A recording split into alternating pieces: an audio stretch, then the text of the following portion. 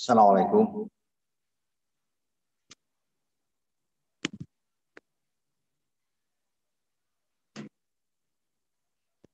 Assalamualaikum warahmatullahi wabarakatuh.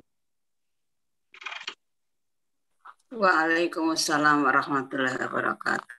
Selamat malam. Salam sejahtera untuk kita semua. Alhamdulillah pada malam hari ini kita jumpa kembali uh, dalam kuliahan pengusada gelombang satu. Ucapan salam hangat saya sampaikan dari pengurus LPK Bina Usada untuk semua calon para usada yang hadir pada malam hari ini. Yang terhormat Ketua Umum LPK Bina Usada, yang terhormat Ketua Umum PHTRA, yang terhormat Ketua Umum Pakti, Presiden Direktur PT Global Herbal Indonesia, Bapak TB Adol Stradoi, ahli media keperawatan AKP. Yang terhormat Sekretaris Umum LPK Bina Husada Ibu Titi Rianti SPD, yang terhormat Sekretaris Umum Pakti Ibu Sumiati Mereja, dosen pemateri yang hadir pada malam hari ini, Sinse Asmoni Kimbar Eskom, dan semua para peserta didik yang hadir pada kesempatan malam hari ini yang saya banggakan. Puji dan syukur kita panjatkan kepada Allah taala karena pada malam hari ini hari Sabtu tanggal 5 Desember 2022 kita sekalian diberikan karunia dan rahmat sehingga kita semua dalam keadaan sehat dan bisa mengikuti perkuliahan pengusada pada malam hari ini walaupun secara virtual. Bapak dan Ibu, para peserta didik yang saya banggakan, marilah kita buka acara pada kesempatan malam hari ini dengan baca basmalah. Bismillah. Untuk selanjutnya, pada malam hari ini, materi atau topik yang akan disampaikan oleh dosen Cinci Asmuni Timbar adalah uh, pengenalan tentang pop uh, tradisional. Baik Bapak dan Ibu, uh, dengan sangat antusias sekali pada kesempatan malam hari ini, saya sebagai pembawa acara yang tentunya akan membantu acara ini dari awal hingga akhir nanti. Pada kesempatan ini, sebelum memasuki acara inti, saya akan membacakan susunan acara. Yang pertama pembukaan. Alhamdulillah tadi kita sudah buka bersama-sama. Yang kedua, seperti biasa, absensi dimohon kepada semua peserta didik yang hadir untuk mencantumkan NIPD pada layar monitor masing-masing. Yang kedua, informasi yang kedua adalah mengenai seperti biasa pada saat dosen memberikan materi dimohon untuk dimatikan dulu speakernya supaya uh, tidak mengganggu serta lain. Nanti setelah sesi diskusi silakan untuk kembali. Baik Bapak dan Ibu peserta didik yang saya banggakan, eh, kita menginjak kepada acara inti. Nah, sebelum memasuki acara inti, marilah kita bersama-sama untuk menundukkan kepala seraya berdoa kepada Allah SWT. Untuk itu, marilah kita berdoa. Berdoa dimulai.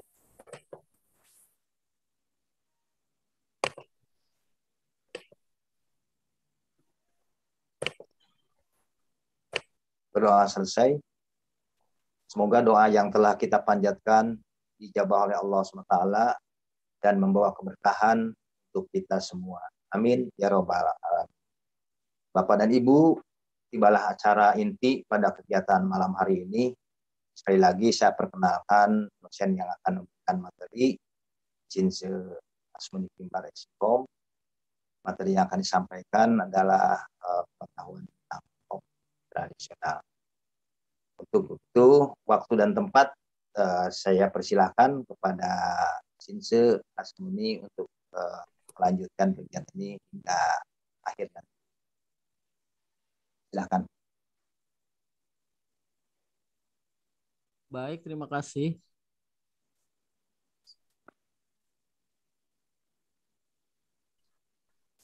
Sebentar saya cek cek dulu.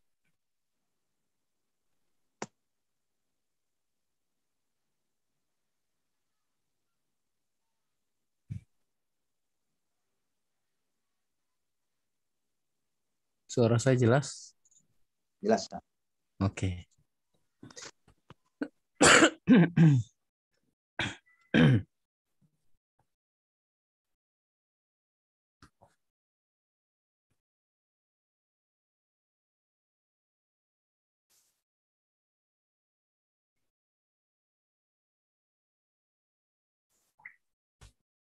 Ya baik, Bismillahirrahmanirrahim. Assalamualaikum warahmatullahi wabarakatuh.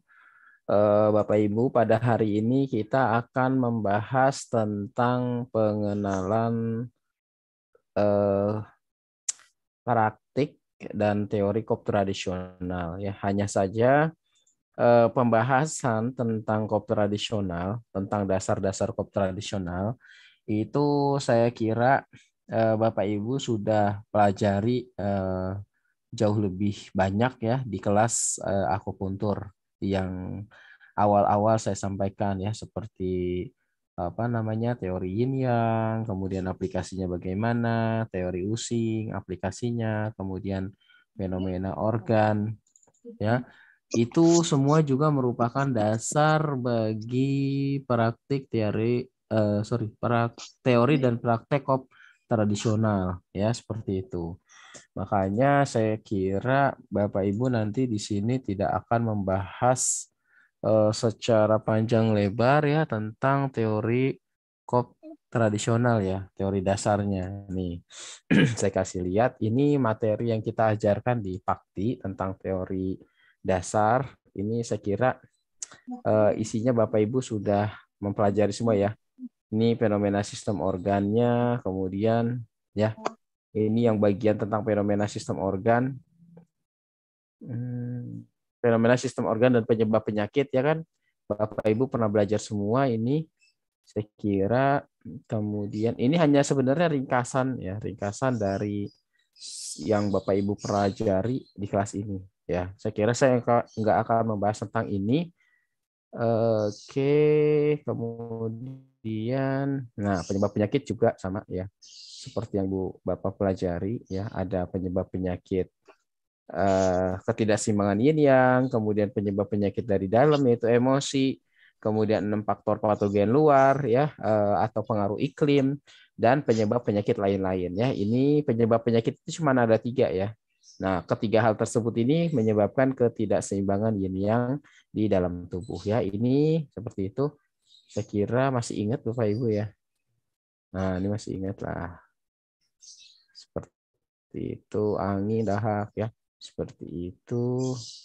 Nah, eh, penyebab penyakit lain-lain ya, eh, faktor keturunan ya atau konstitusi tubuh, terlalu banyak bekerja atau kurang bekerja, eh, olahraga berlebihan atau kurang olahraga, aktivitas seksual berlebihan atau kurang aktivitas seksual, kemudian diet atau pola makan yang salah, kemudian trauma atau kecelakaan, parasit, racun, ya terapi yang salah, obat-obatan ya seperti itu. Itu saya kira Bapak Ibu sudah apa namanya sudah tahu ya. Kemudian eh, materi yang kita ajarkan di kop tradisional juga itu yang tentang ini yang mana nih?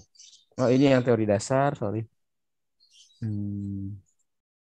Yang nah, oh ini lagi ya. Enggak. Hmm, mana ya? Enggak. Belum dimulai. Ini udah mulai.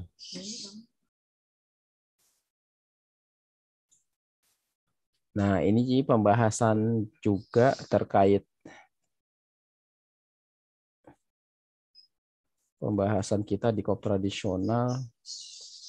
Nah, ini sorry. Nah, ini ya eh, sindrom dan cara terapi. eh, ini Bapak Ibu pernah pernah saya saya sampaikan juga ya tentang sebelum kita belajar tentang titik-titik akupunktur saya masih ingat ya. Nah, ini hanya ringkasan.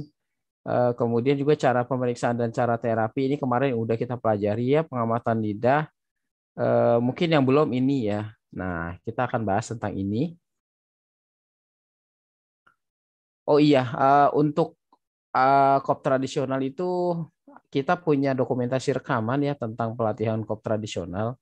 Mungkin nanti kalau mau lihat secara apa lebih panjang lebar gitu atau untuk refresh pengetahuan Bapak Ibu, boleh nanti kita share rekamannya kepada Bapak Ibu untuk uh, menambah pemahaman tentang kop tradisional. Nah, ini yang perlu kita perhatikan di sini itu adalah keadaan daripada suara ya. Suara keras, lantang, suaranya jernih, suaranya bertenaga, ya, kemudian berbicara terus tanpa terpatah-patah itu menunjukkan keadaan-keadaan dari yang, ya, atau keadaan-keadaan ekses atau keadaan-keadaan panas, ya, seperti itu. Nah, di dalam kop tradisional, kalau kondisinya seperti ini, ya, ini tidak uh, masalah kita lakukan pengekopan, ya. Kenapa? Karena dia cukup ci dan cukup panas, ya di mana ketika kita melakukan teori COP itu sebenarnya kita secara umum ya, secara umum saya katakan itu kita melakukan sedasi ya atau reduksi. Meskipun nanti ada teknik di mana kita bisa membangkitkan WC ya atau chip pertahanan. Nah, kemudian kalau suaranya rendah, suaranya pelan, suaranya harus, lemah, dan suaranya terpatah-patah itu, itu menunjukkan keadaan-keadaan yin, ya, keadaan yin, kemudian keadaan kurang atau defisiensi dan keadaan-keadaan dingin. Nah, ini kalau ketemu hal-hal yang demikian, ini Bapak Ibu harus hati-hati ya.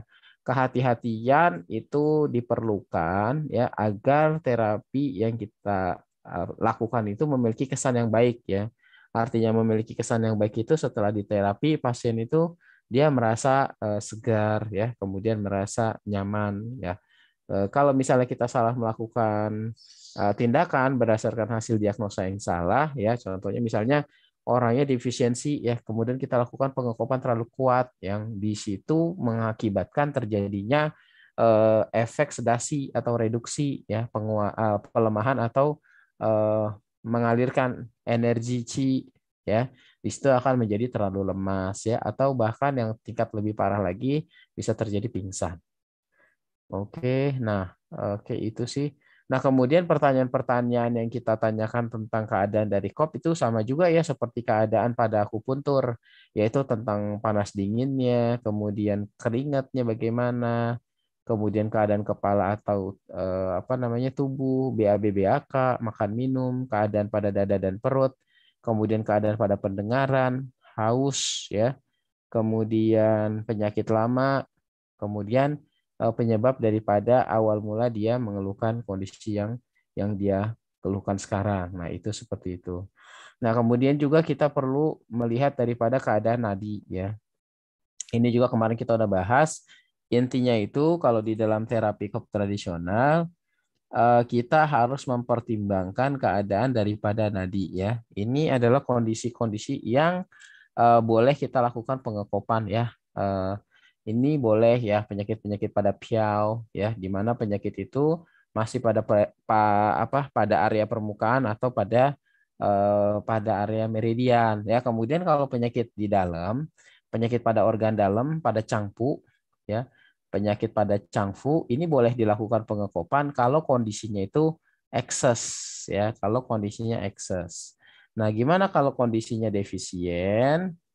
Nah, kalau kondisinya defisien ini boleh juga dilakukan pengekopan, tapi kita harus hati-hati ya.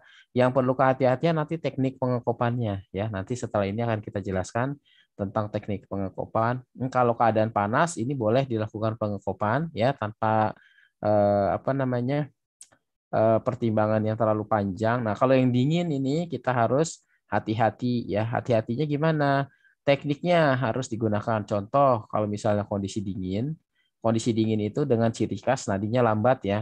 Nah, kalau kondisinya dingin itu nanti uh, gunakan uh, herba atau minyak yang memiliki efek penghangatan terhadap tubuh ya. Kemudian nanti kalau misalnya Bapak Ibu sudah praktek kop api ya, kita gunakan juga kop api. Itu akan lebih bagus ya. Kita gunakan kop api ya atau kalau kita gunakan kop yang biasa ya dengan sistem vakum gunakan minyak hangat ya.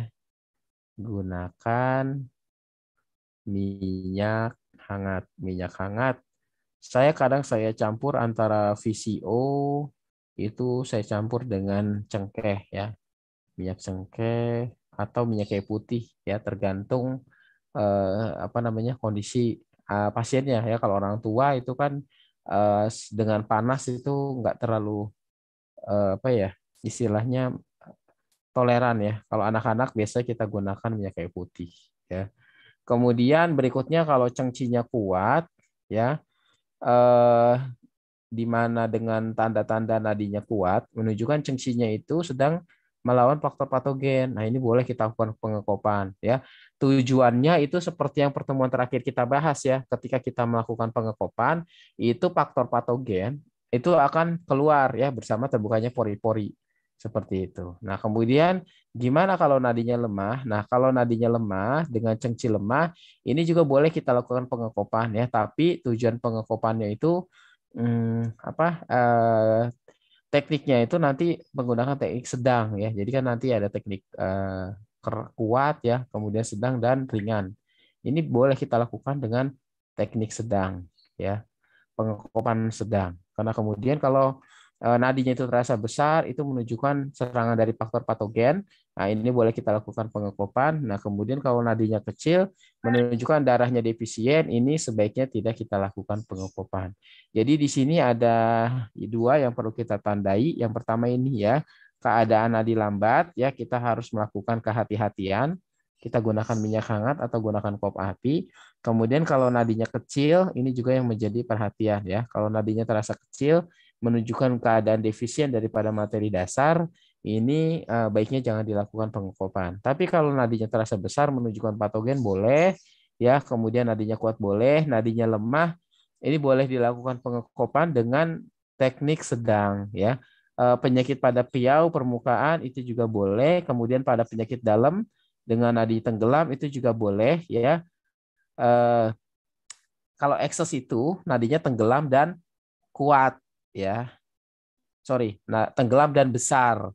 Kemudian kalau defisiensi tenggelam dan dan lemah. Nah, ini yang kita harus harus perhatikan ya. Ini kita harus perhatikan jangan sampai kita salah di sini ya. Oke, nadinya tenggelam ya, tapi kecil. Nah, ini kan sesuai dengan ini. Yang kecilnya nggak boleh ya. Jadi sebaiknya tidak dilakukan. Itu aja yang jadi apa namanya perhatian Bapak Ibu di situ ya. Ada nadi lambat dan nadi kecil ya. Tapi kalau Bapak Ibu melakukan eh, apa namanya praktik pengekopan dengan pengeluaran materi dasar ya seperti darah itu ini jangan dilakukan ya. Nah ini juga jangan dilakukan udah mutlak. Ya, itu tidak boleh. Biasanya akan menyebabkan keadaan eh, apa namanya kayak pingsan dan lain sebagainya. Ya begitu. Ini udah pernah Bapak Ibu pelajarin. Nah ini titik-titik ini sebenarnya ya adalah titik-titik yang Eh, terletak pada bagian depan ya. Kemudian pada bagian belakang ini memang titik-titik yang biasa kita gunakan di dalam terapi COP ya, titik su belakang dan titik mu depan. Sebenarnya kalau titik uh, su belakang ini mana gam? Nah, titik su belakang ini yang terletak di meridian kandung uh, kandung kemih. Nah, itu sebenarnya ketika kita melakukan pengokopan seluncur ya, ketika kita lakukan pengokopan seluncur nih dari sini kemudian sampai pinggang sini ini semuanya kena ya kena dalam artian dia eh, mengalami eh, istilahnya dia dilakukan stimulasi ya dengan pengokopan hanya saja nanti ya ketika ada penyakit-penyakit terkait organ dalam tertentu nah kita bisa lakukan pengokopan ya didiamkan ya sekitar antara 7 sampai 15 menit pada titik-titik subbelakang sesuai dengan organ yang mengalami ketidakseimbangan ya. Yang paling sering yang kita lakukan adalah itu biasanya eh, adanya ekses patogen di dalam ya contohnya lembab berarti pada limpa biasanya kemudian paru-paru ya eh, kemudian juga area-area pinggang ya kemudian nyeri pada dada biasanya pada area-area dada ya di paru-paru kemudian jantung dan perikardium ya seperti itu itu tinggal disesuaikan aja lokasi penyakitnya dengan titik kop di belakang. Ya, kalau titik kop di depan juga sesuai dengan kondisi organ yang bermasalah. Ya, ini adalah titik-titik mu atau titik-titik yang terletak di bagian depan yang setinggi organ. Ya, seperti itu. Kalau ini yang yang perlu disampaikan saya kira tidak ada yang penting ya. Nah ini uh, apa namanya rencana terapi COP ya. Jadi kalau ada faktor patogen luar baik angin, lembab, dingin, panas dan lain-lain ya. Kemudian ini menggunakan istilah campuran ya, eh, toksin, oksidan apa segala macam ya. Ini menggunakan istilah TCM, ini menggunakan istilah campuran. Nah, ini adalah faktor penyebab penyakit lain-lain ya. Kemudian juga ini juga me, apa istilah campuran ya antara medis Cina dan medis barat Nah, ini adalah penyebab penyakit ya. Yang di dalam TSM ini hanya nomor satu dan nomor tiga ya. Nomor dua dan nomor empatnya ini campuran dari eh, apa medis barat ya. Nah, seperti itu. Itu yang bisa kita lakukan pengekopan. Nah, kalau misalnya defisiensi daripada organ, misal defisiensi darah, ya, defisiensi C, itu kita tidak bisa melakukan pengekopan untuk meningkatkan darah atau menambah darah. Kita tidak bisa melakukan pengekopan untuk menambah ci ya. Hanya kita bisa memaksimalkan daripada kerja ci dengan buang faktor patogen ya sehingga peredaran ci itu menjadi tidak terhambat. Ya, itu kan berarti ada ekses ya, ekses dengan adanya stagnasi ci atau biasanya kelembapan yang menghalangi perjalanan daripada darah dan ci. Nah, ini perjalanan penyakit ya, ada penyakit dari luar masuk ke dalam kulit, kemudian dari kulit kalau dia tidak diobati dalam hal ini kalau dia kena faktor patogen luar nih nomor satu tidak diobati dalam hal ini dengan kop dia akan masuk ya melalui meridian dan dia akan mengenai organ. Maka dari itu penting bagi kita untuk memahami keadaan-keadaan faktor patogen dari luar dan manifestasinya. Ya, kemarin kan udah kita bahas tuh kalau dia faktor patogen dari luar itu ada ciri-cirinya. Yang pertama ya ada tiga. Yang pertama itu adalah uh, tidak suka angin, yang kedua tidak suka dingin, dan ketiga adanya demam. Ya, demam itu adalah keadaan panas yang apabila kita uh, letakkan tangan kita itu panasnya seperti memancar ya atau dalam bahasa Cina disebut fare. Kemudian ada juga penyakit yang langsung masuk ke organ. Ya ini uh, pada umumnya ini bukan ranah kita ya. Contohnya itu adalah dingin pada uh, lambung ya, kemudian dingin pada usus dan dingin pada pada rahim ya. Itu biasanya faktor patogen yang masuk dari luar kemudian dia langsung masuk ke dalam organ tanpa melalui mekanisme kulit meridian. Ya itu ada tiga organ. Bapak ibu mungkin masih ingat uh, pernah saya bahas juga. Kemudian uh, atau penyakit yang memang sudah ada di dalam ya kalau istilah medis baratnya adalah keadaan genetik ya atau keadaan-keadaan dari uh, faktor kebiasaan hidup yang sudah berlangsung cukup lama ya misalnya dari pola makan, pola hidup dan lain sebagainya. Mungkin saya kira itu yang perlu kita perhatikan ketika kita akan melakukan teori kop ya. Kemudian berikutnya kita masuk ke tekniknya ya, teknik kop tradisional. Nah, di sini ya eh, yang perlu kita apa yang perlu kita pahami itu di sini adalah ini Bapak Ibu udah tahu ya. Jadi ada kop jenis dengan scrub seperti ini dan ini yang, yang sering kita gunakan yang berada di sebelah kanan ini. Ya kita menggunakan uh, pompa ya. Seperti itu. Kemudian selanjutnya ada ini yang biasa dipakai untuk kecantikan Ya sebenarnya prinsipnya sama aja ya. Ini cuma dipencet yang area silikonnya ya. Kemudian nanti di sini kan uh, udara keluar, kemudian kita tempel terjadi tekanan negatif. Ya intinya daripada pengekopan itu adalah menghasilkan efek tekanan negatif. Ya. Nah ini biasanya dipakai sama fisioterapis nih yang ini nih. Ya ini biasa dipakai sama fisioterapis untuk uh, ada masalah-masalah muskuloskeletal seperti itu baik di area pinggang, paha maupun betis. Ya, ini juga terbuat dari silikon. Kemudian ini juga terbuat dari silikon. Ini biasanya dipakai di eh, apa di kosmetik ya, kosmetik cupping. Ini kecil-kecil begini untuk area wajah ya. Kecil-kecil gini untuk area wajah, nah, kemudian leher. Yang besar-besar ini baru untuk area perut ya pinggang ya untuk mengatasi selulit ya ini prinsipnya sama aja dipencet kemudian terjadi kekurangan udara ditempel terjadi tekanan negatif. Nah, ini bambu dan kop kaca ini yang menggunakan api ya di dalam prakteknya. Nanti cara menggunakannya boleh begini ya. Di apa namanya kapas yang disemprotkan dengan uh, spiritus ya atau alkohol 96%, kemudian dibakar lalu dimasukkan ke dalam ini. Biasanya saya masukkan kemudian uh, ini kapas itu ditempel ke ditempel ke ini nih, kop yang bagian dalam ini ya kemudian dia kan akan menyala tuh. Nah begitu dia menyala kita tempel langsung ke dalam, eh, ke permukaan kulit. Nanti terjadi tekanan negatif ya. Atau menggunakan ini ya dimasukkan. Nah ini ya biasanya kalau pakai kop bambu pakai ini ya. Pakai kop bambu dilempar eh, kertas dibakar kemudian kita tempel kop bambunya ke kulit ya. Seperti itu. Kemudian nah ini yang biasanya menjadi tanda penting bagi kita sebagai terapis kop tradisional. Ini adalah warna setelah kita melakukan pengekopan ya. Nah, warna merah cerah itu biasanya menunjukkan keadaan panas yang berlebihan ya. Nah, itu eh, mungkin juga terjadinya peradangan ya. Jadi ini panasnya karena panas stagnasi ya. Seperti itu. Biasanya kita gunakan kop kilat nih. Kop kilat itu nanti videonya saya share aja di Telegram ya. Kop kilat seperti apa, kemudian teknik ringan, teknik sedang bagaimana. Seperti itu. Ini juga sering dilakukan pada keadaan cedera seperti itu. Kemudian selanjutnya, nah kalau warnanya seperti ini ya, warna merah tua eh, sampai magenta itu menunjukkan panas yang yang stagnan ya. Eh, tetapi eh, apa namanya? Eh, di sini ya kita gunakan eh, minyak dingin ya atau minyak netral seperti zaitun ya dingin seperti PCO atau eh, netral seperti zaitun.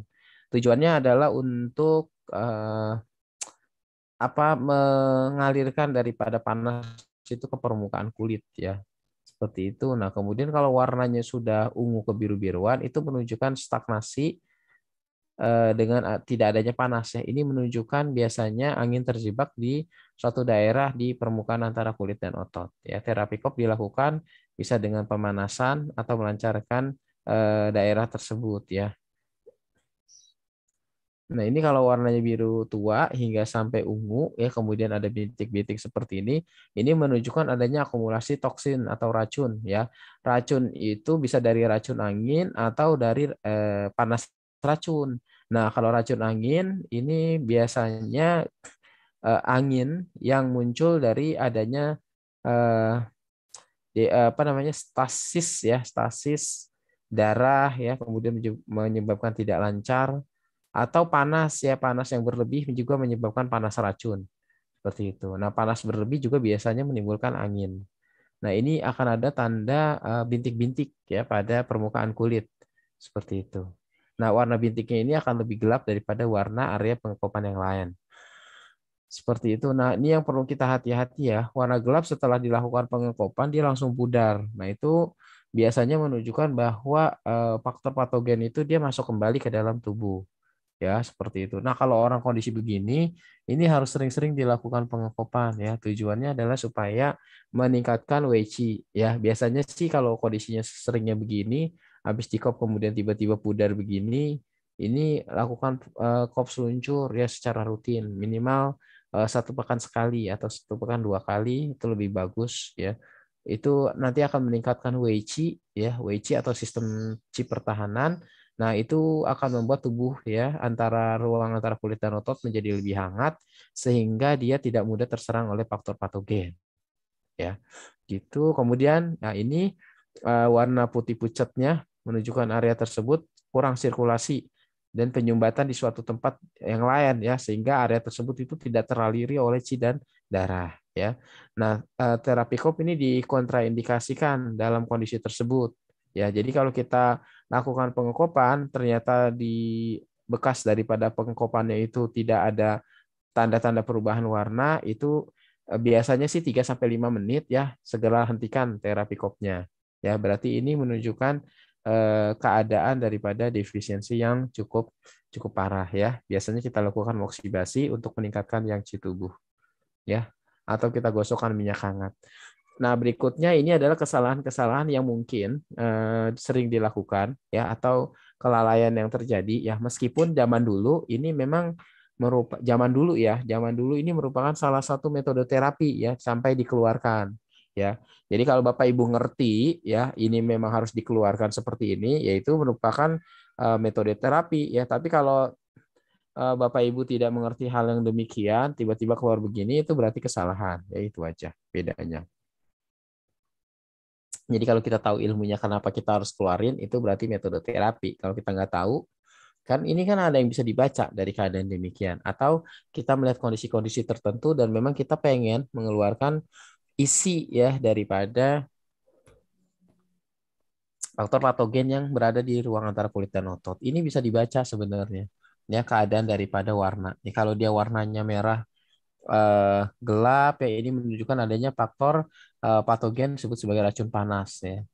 Nah ini kalau dia ben, hanya bening ya hanya bening kekuningan ini uh, bisa juga menunjukkan kondisi-kondisi daripada uh, defisiensi uh, chip pertahanan ya biasanya seperti itu.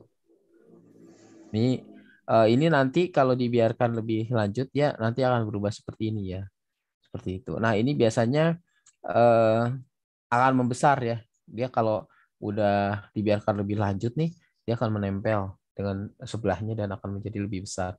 Nah, biasanya kalau kondisi terjadi seperti ini, yang saya lakukan itu adalah tidak dengan menusuknya ya, tidak. Kadang-kadang kan ada yang itu ditusuk sampai keluar airnya. Nah, itu kemudian akan menyebabkan perih ya, karena terjadinya uh, perlukaan pada kulit ya, jadi luka terbuka. Nah, biasanya yang sering saya lakukan itu adalah saya usap uh, atau saya lumuri dengan uh, bet, apa namanya iodin ya iodin kemudian kita tutup dengan uh, kasa ya kita tutup dengan kasa. Di dalam kasa itu ada kapas untuk menyerap daripada cairannya. Habis itu kita plester. Ya biasanya begitu.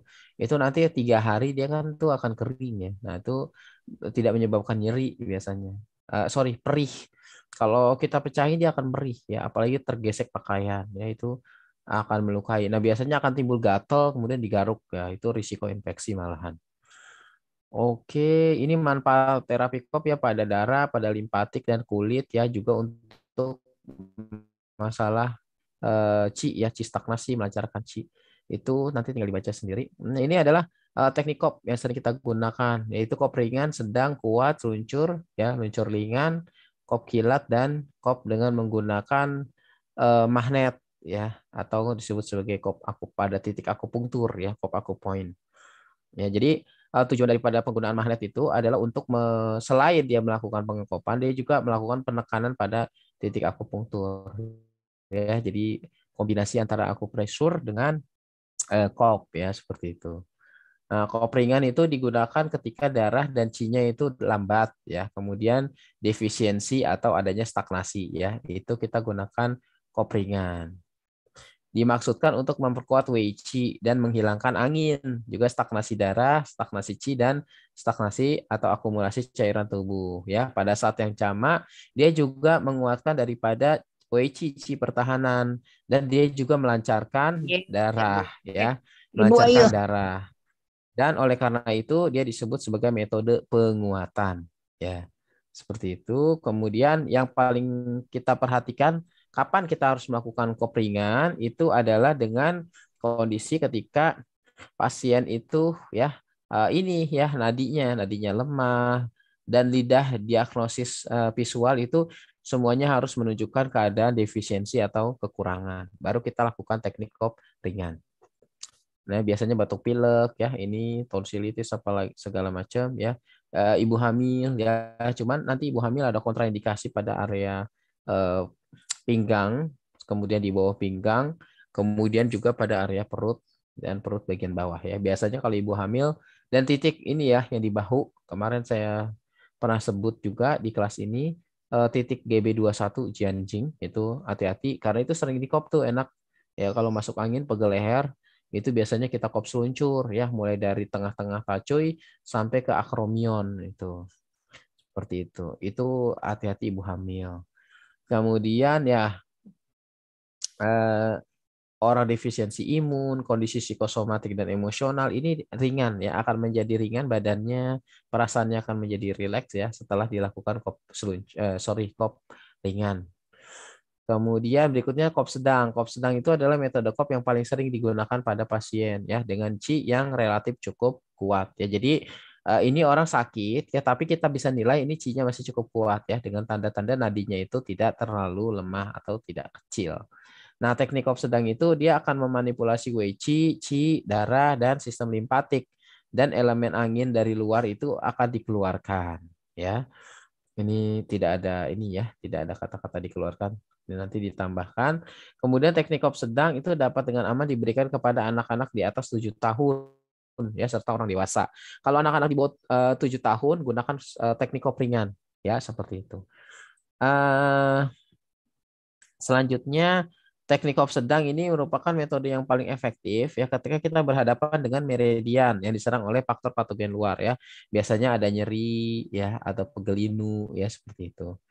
Ya, ini sindrom P ya, sindrom P atau apa namanya nyeri atau sindrom rematik ya karena panas atau karena dingin ya. Nanti kalau panas gunakan minyak dingin, kalau karena dingin gunakan minyak panas ya. Terus kondisi-kondisi terkait stres, sakit kepala, ya untuk tonifikasi darah dan ci, ya. Maksudnya di sini tonifikasi darah dan ci itu bukan nambah darah dan nambah ci ya, tapi maksudnya itu adalah untuk melancarkan, melancarkan darah dan ci. Kemudian juga untuk penyakit pada anak-anak boleh ya di atas tujuh tahun. Kemudian keluhan untuk infertilitas. Nah, keluhan-keluhan untuk infertilitas ini maksudnya adalah eh, bahwa terapi KOP ini bukan untuk eh, menambah jumlah sperma ya atau eh, sel telur bukan ya, tetapi ketika ada kondisi-kondisi keluhan-keluhan terkait infertilitas misalnya ada nyeri pinggang ya, kemudian nyeri sebelum menstruasi atau nyeri saat menstruasi ini bisa kita lakukan pengekopan pada area pinggang seperti ini ya. Kemudian cedera olahraga ya, kemudian keluhan-keluhan pada muskuloskeletal itu bisa kita gunakan. Kemudian eh, teknik kuat ya. Teknik kuat itu ini untuk membuang angin dan darah yang sudah berada di bagian dalam ya. Ini biasanya ekses eh, dari penyakit yang berada di dalam tubuh ya. Misalnya ada ketidakseimbangan yin yang di dalam organ menimbulkan faktor patogen angin dalam ya atau adanya masalah-masalah pada darah ya, stasis darah terkait di bagian dalam. Ini biasanya kalau pada nyeri ya sakit nyeri uh, ini nyerinya sudah uh, cukup lama dan biasanya menimbulkan rasa nyeri yang persisten. Nyerinya itu nggak hilang-hilang ya. Nah ini kita gunakan kop yang kuat ya seperti itu. Nah juga salah satu teknik yang paling menguras ya ya maksudnya menguras itu adalah me, me, apa paling banyak menghabiskan ci ya menghabiskan ci dan darah ya ya karena menarik kuat keluar ya. Oleh karena itu sebelum memutuskan teknik kuat ini kita harus memastikan bahwa pasien itu memang cukup ya ci eh, dan uh, nadinya ya dari nadinya itu besar ya kemudian kuat. Kalau nadinya cepat juga boleh ya. Nah, se ya ini nadinya harus besar, kemudian lidahnya biasanya merah, tebal, kemudian diagnosis visual harus menunjukkan keadaan ekses ya kalau keadaan-keadaan defisien Bapak lakukan eh, terapi kop kuat itu berarti salah ya. Nah, kemudian ketika kita melakukan teknik kop kuat itu Weiqi akan terpengaruh ya dan sangat dipengaruhi oleh kop ini. Dia uh, Weiqi itu dia akan eh, dimobilisasi secara besar-besaran ya. Weiqi akan dimobilisasi secara besar-besaran sehingga uh, dia akan sangat terpengaruh. Maka kita harus pastikan bahwa Qi itu cukup ya. Kemudian terapi daripada kuat ini adalah untuk uh, memindahkan darah dan ci ya. Biasanya ada stasis darah di bagian dalam atau adanya stagnasi ci di bagian dalam ya yang biasanya pada lebih dalam ya di bawah permukaan otot. Nah, seperti itu. Nah, sangat cocok untuk semua bentuk keluhan-keluhan muskuloskeletal kronis ya atau adanya sindrom statis darah. Ya, jadi Eh, nyeri-nyeri yang udah agak lama yang eh, berlangsung terus-menerus kita bisa gunakan. Ya. Seperti itu. Nah, bisul, bisul ini pernah saya cerita juga bisul ya biasanya.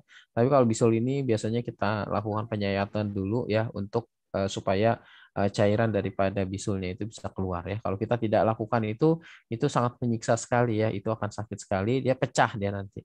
Ya, jadi sebelum dia pecah kita uh, buka dulu jalan keluarnya jadi tidak terlalu sakit ya. Nah, ini perbedaan antara keadaan kop lemah ya, kemudian atau kop ringan, kemudian kop sedang dan kop kuat ya. Kalau kita lihat dari uh, keadaan otot yang dilakukan penekanan negatifnya ini adalah gambaran daripada perbedaan masing-masing antara kop kuat ya, kop sedang dan kop lemah ya. Di sini kita lihat nih ada lapisan permukaan kulit ya, kemudian ini adalah ruang antara kulit dan otot. Nah, kalau kop kuat dia akan mempengaruhi bagian otot yang lebih dalam, ya seperti itu. Halo? Saya lagi online, Bu. Mm -mm. Mm -mm. Mm. Iya, yuk, yuk. Iya, iya, iya.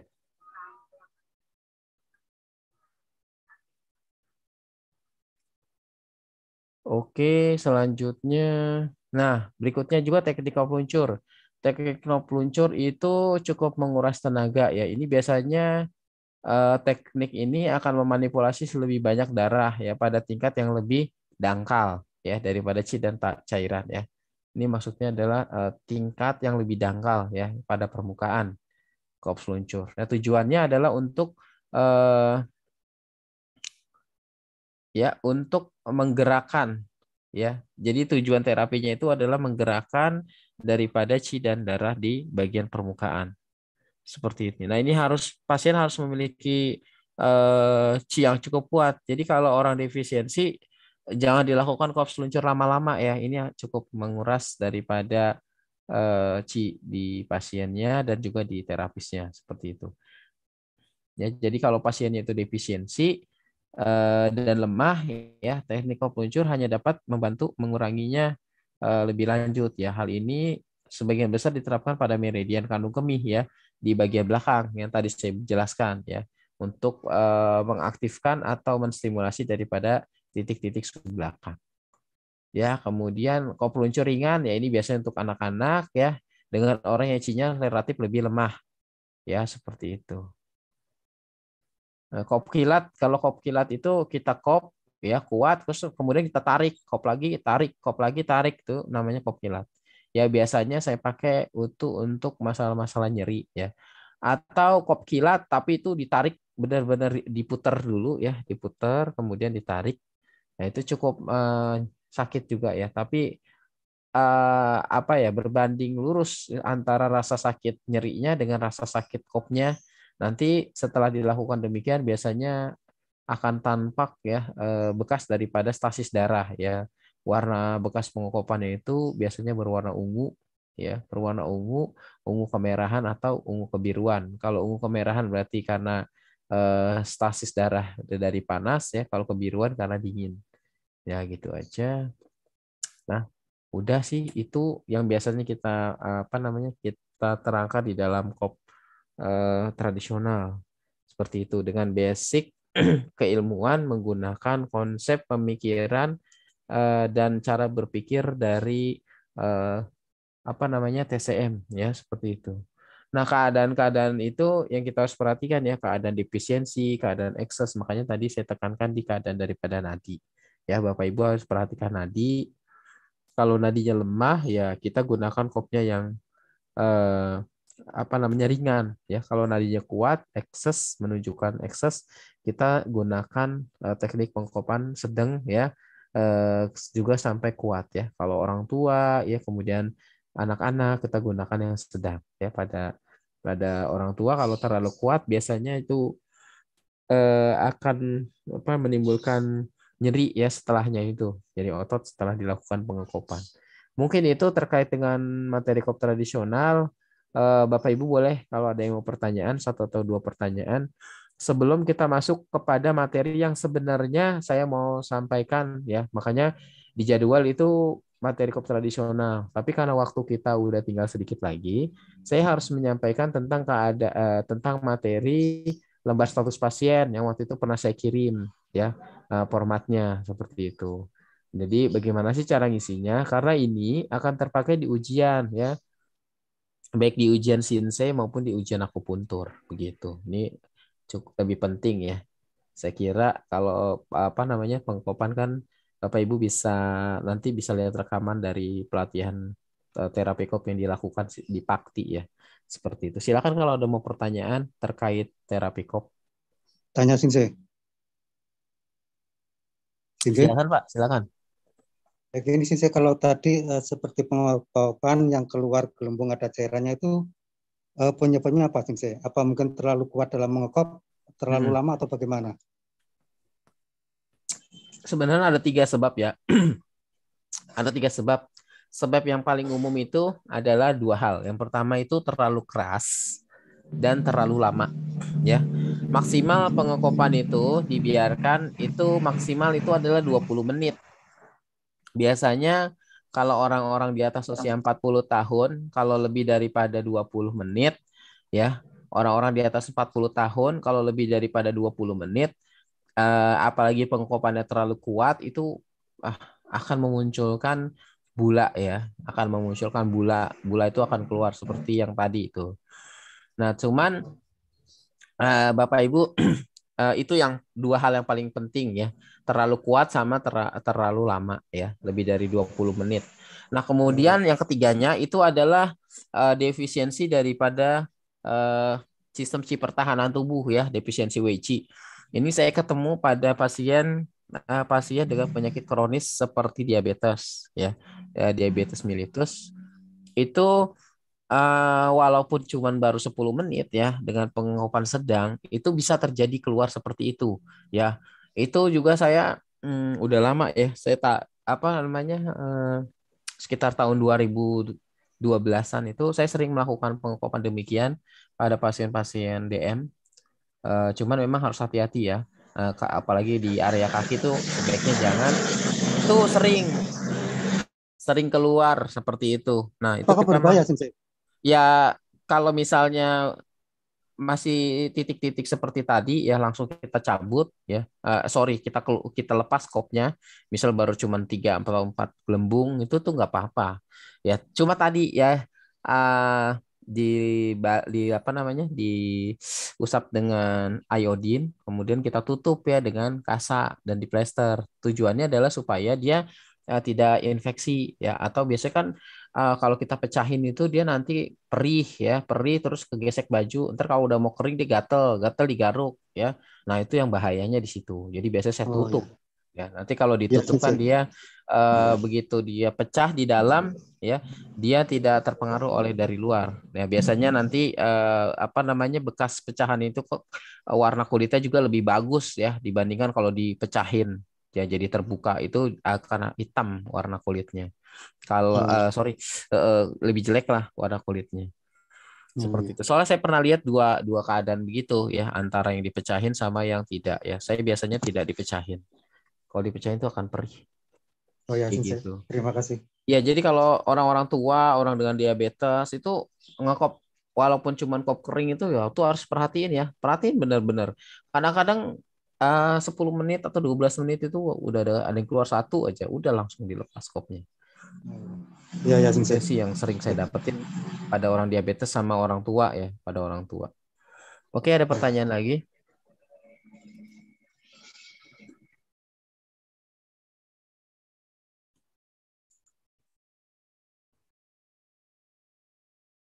Kalau nggak ada pertanyaan lagi, kita masuk ke materi yang saya kira ini penting bagi Bapak Ibu ya.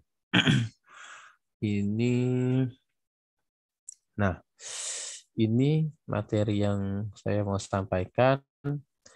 Ini namanya lembar status ya. Nanti kemarin saya udah kirim PDF-nya kalau nggak salah ya. Nanti kalau yang butuh Word-nya bisa apa namanya bisa japri ya atau kalau misalnya emang mau semuanya nanti saya kirim yang versi uh, Word-nya. Nanti tinggal di ini aja nih.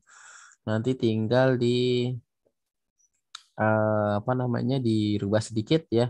Dirubah sedikit nanti misalnya ini kita mau kasih logo ya logo daripada klinik atau apa geria sehat Bapak Ibu di sini taruh logo. Nah seperti itu. Nanti di sini alamatnya ya seperti itu. Atau ininya nanti ditaruh di atas juga bisa ya. Nah ditaruh di sini. Nah begitu ya nanti di sini tetap ada. Nah begitu. Ini adalah bentuk eh, pertanyaan yang kira-kira uh, mirip ya mirip 96% lah dengan ujian di lembaga sertifikasi kompetensi akupuntur ya atau lembaga sertifikasi kompetensi sinse ya. Seperti itu. Ini ini yang mau saya sampaikan. Nah biasanya terdiri dari tiga hal.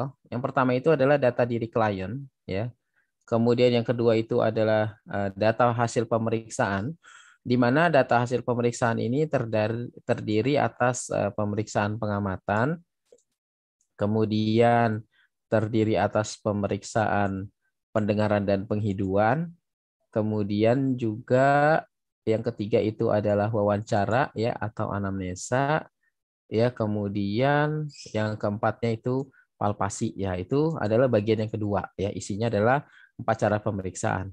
Nah, bagian yang ketiga itu isinya adalah kesimpulan dari diagnosis ya. Kesimpulan dari diagnosis ini berisi dua hal. Yang pertama adalah diagnosis itu sendiri ya dari keadaan-keadaan tersebut hasil diagnosis kita apa.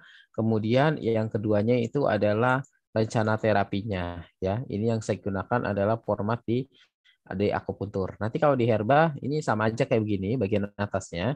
Cuma nanti pas di terapi ini, terapinya ini adalah terapi herba. Di sini bukan pemilihan titik, nanti formula yang digunakan. Kemudian di sini bukan titik akupunktur, tapi uh, herba tunggal ya atau bahan-bahan herba yang digunakan. Ya, kemudian cara cara manipulasinya ini nanti bukan cara manipulasi dia arah kerja daripada herbanya seperti apa. Ini anjuran dan prognosis saya kira seperti itu. Jadi ada tiga bagian data diri klien, kemudian yang keduanya diagno, eh, apa namanya eh, data pemerik, hasil pemeriksaan, yang ketiganya adalah diagnosis ya atau kesimpulan dari hasil pemeriksaan. Nah, ini nama nama nanti diisi oleh nama klien ya daripada Bapak Ibu. Nama kliennya diisi ya. Misalnya namanya adalah hmm, misalnya namanya adalah Tuan A ya, seperti itu. Tuan A. Nah, kemudian berikutnya usia. Usia ini uh, harus ditulis penting untuk kita berpikir tentang keadaan-keadaan yang terkait dengan usia ya. Misalnya kalau usianya apa uh, pada wanita ya kalau 42 tahun uh, sorry kalau 49 tahun ke atas itu menunjukkan apa ya. Berarti menunjukkan keadaan daripada uh, jingnya itu sudah mulai mulai uh, itu ya, mulai habis Ya, seperti itu. Nah, kemudian kalau pada anak-anak biasanya penyakit-penyakitnya itu terkait dengan keadaan dari makanan, ya pola hidup atau trauma ya atau kecelakaan. Nah, kemudian kalau usia-usia antara 20-an tahun sampai usia 40-an tahun tuh biasanya masalah-masalah penyakitnya karena faktor emosional ya. Nanti stagnasi cihati, ya, kemudian ya masalah-masalah yang terkait dengan keadaan-keadaan emosional. Nah, ini usia penting ya. Jadi kita harus tanyakan tentang usia, nah, jenis kelamin. Nanti kalau jenis kelaminnya perempuan, ya, nanti kita akan menanyakan keadaan-keadaan terkait masalah pada wanita. Nah, kemudian pekerjaan.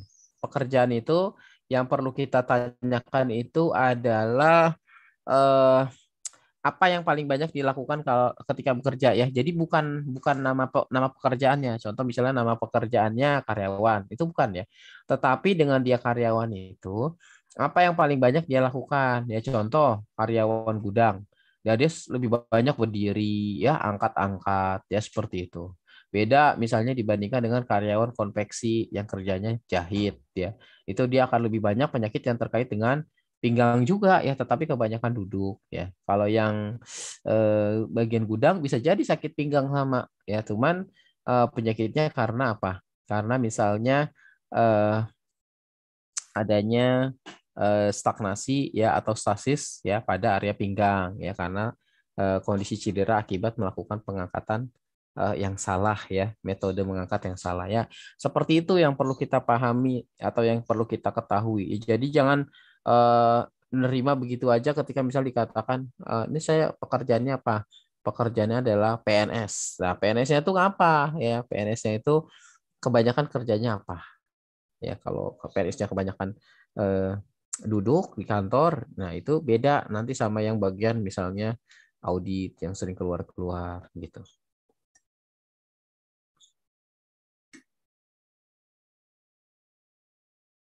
Nah, ini nomor registrasi Bapak Ibu silakan kombinasikan sendiri ya nomor registrasi terserah mau pakai apa. Kemudian ini yang perlu kita tulis juga ya tanggal pertama kali dia datang. Kemudian setelah itu semua ya uh, kita lakukan pengamatan ya. Nah, kapan kita lakukan pengamatan? Biasanya kita melakukan pengamatan ya kemudian ini yang keduanya pendengaran dan penghidupan ini saat bersamaan ketika kita menanyakan hal-hal ini ya. Nah, ketika kita menanyakan hal-hal itu kan kita udah tahu tuh, udah lihat gerak gerak geriknya bagaimana, sennya bagaimana, ya, kemudian suaranya bagaimana, ya, kemudian ada bau apa enggaknya, ya, seperti itu. Nah, jadi ketika kita melakukan pertanyaan-pertanyaan ini, jadi jangan kita hanya fokus pada keadaan-keadaan pertanyaan itu, ya. Jadi ketika kita lihat cara dia jawab, apakah ngomongnya pelan, apa ngomongnya kuat, ngomongnya cepat apa lambat ya. Apakah duduknya gelisah, apa duduknya tenang, membungkuk ya atau miring. Itu menjadi perhatian kita. Ya, jadi eh, waktu yang dibutuhkan dalam mengisi ini berapa lembar ya? Empat lembar ya. Sebenarnya empat lembar ini, ini karena hurufnya saya gedein jadi lima ya. Jadi kalau di ujian itu biasanya empat lembar. Nah, uh, dalam mengisi empat lembar ini itu dibutuhkan waktu hanya eh sorry, bukan dibutuhkan, diberikan waktu hanya 45 menit ya. 45 menit itu untuk mengisi semua lembar ini. Ya, makanya kita harus gunakan waktu seefektif mungkin. Nah, di dalam klinik juga begitu ya. Masa iya kita mau lakukan 45 menit sendiri untuk isi kayak gini kan nggak mungkin ya. Terlalu lama ya. Biasa 30 menit ya atau 25 menit lah untuk kita ngobrol-ngobrol tentang keadaan daripada penyakitnya ya untuk kita tahu kira-kira eh, nanti kita mau obati dengan cara apa ya. Seperti itu. Nah, kemudian kita lihat nih keadaan sen. Ya. Yang pertama pengamatan itu dari keadaan sen. Sen yang dilihat itu keadaan daripada semangat. Nah, yang kita lihat itu bersemangat atau tidak semangat. Jadi Bapak Ibu nanti nulisnya bersemangat atau tidak bersemangat ya. Bersemangat atau tidak bersemangat. Jangan ditulis yang lain ya. Contohnya misalnya eh, ditulis misalnya eh, di luar daripada ini ya. Itu jangan. Ya kita tulisnya keadaan misalnya bersemangat tidak bersemangat. Kemudian yang kedua keadaan sadar atau tidaknya ya. Pertanyaan tentang kesadaran. Ya kita jawab dengan sadar ya kurang sadar dan tidak sadar. Nah biasanya kita jawab antara sadar sama kurang sadar ya. Eh, atau kesadarannya buruk ya gitu. Kesadarannya buruk. Eh, kurang sadar atau kesadarannya buruk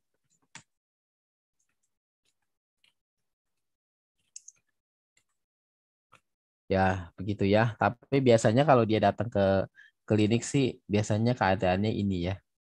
Keadaannya seperti ini. Nah, seperti itu. Kemudian berikutnya ekspresi umum daripada uh, orang ya, ekspresi umum daripada keseluruhan. Nah, itu menunjukkan keadaan dari uh, ekspresi emosi sesuai dengan lima unsur ya. Ekspresi emosi lima unsur. Itu terdiri dari sedih, marah dan lain-lain ya. Nanti uh, kondisi keadaan emosi ini nanti kan menunjukkan kepada kita ya kira-kira keadaan organ mana yang mengalami uh, ketidakseimbangan ya. Seperti itu. Kemudian berikutnya adalah sinar mata ya. Sinar mata atau sen mata ya. Dia biasanya kita isi sebagai bersinar ya atau uh, kurang bersinar ya. Atau kita bisa juga tulis layu ya. Seperti itu. Ini kadang kita tulis juga kurang bersinar atau kita bisa tulis layu. Nah kemudian selanjutnya yang kita isi adalah kesegaran. Kesegaran daripada uh, ekspresi mukanya ya. Se ya. Kesegaran itu segar atau tidak segar. Kemudian warna muka. Nah warna muka ini adalah warna lima elemen ya. Warna lima elemen apakah dia kehijauan kekuningan atau uh, pucat sorry kalau pucat itu bukan warna lima elemen ya warna lima elemen itu nanti sorry bukan pucat. Pucat itu menunjukkan defisiensi yang eh apa ya uh, putih, kemudian kehitaman, ya seperti itu. Putih biasanya putih pucat.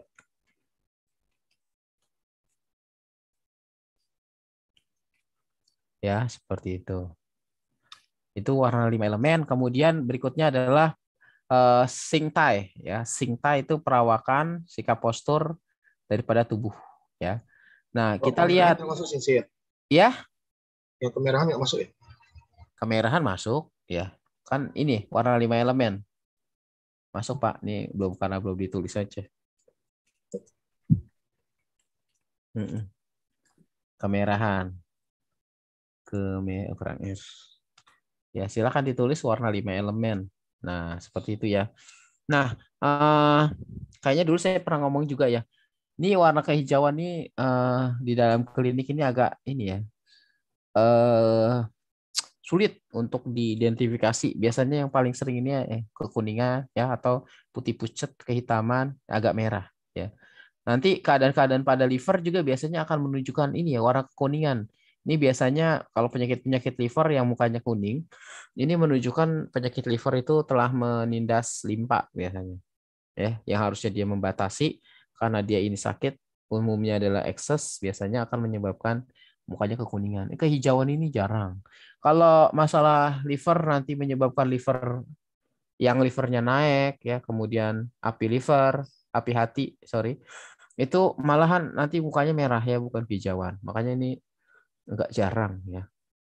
Saya sendiri sih belum pernah lihat eh, keadaan warna yang kehijauan. Kalau kehitaman sering ya. Waktu saya belajar dulu itu sering banget hampir setiap hari ketemu warna kehitaman. Itu biasanya pada pasien-pasien yang mengalami kencing manis ya, kemudian penyakit-penyakit terkait keadaan ginjal. Itu warnanya wajahnya agak kehitaman. Kemudian berikutnya postur daripada tubuh itu berotot ya, eh, kemudian kurus ya atau gemuk ya, berotot, kurus atau gemuk. Kalau gemuk menunjukkan apa? Uh, sorry, kalau gemuk itu menunjukkan keadaan daripada kelembapan ya, gemuk ya, obesitas. Kalau kurus ya itu biasanya menunjukkan keadaan daripada uh, defisiensi uh, yang ya. Eh sorry, uh, kalau kurus itu menunjukkan keadaan defisiensi yin ya, defisiensi yin itu kurus. Kalau gemuk itu biasanya defisiensi yang ya. Kemudian kalau berotot itu menunjukkan uh, keadaan yang sebenarnya itu cukup normal ya. Itu limpanya cukup bagus ya sehingga otot itu terbentuk. Kemudian berikutnya itu adalah uh, posisi tubuh ya.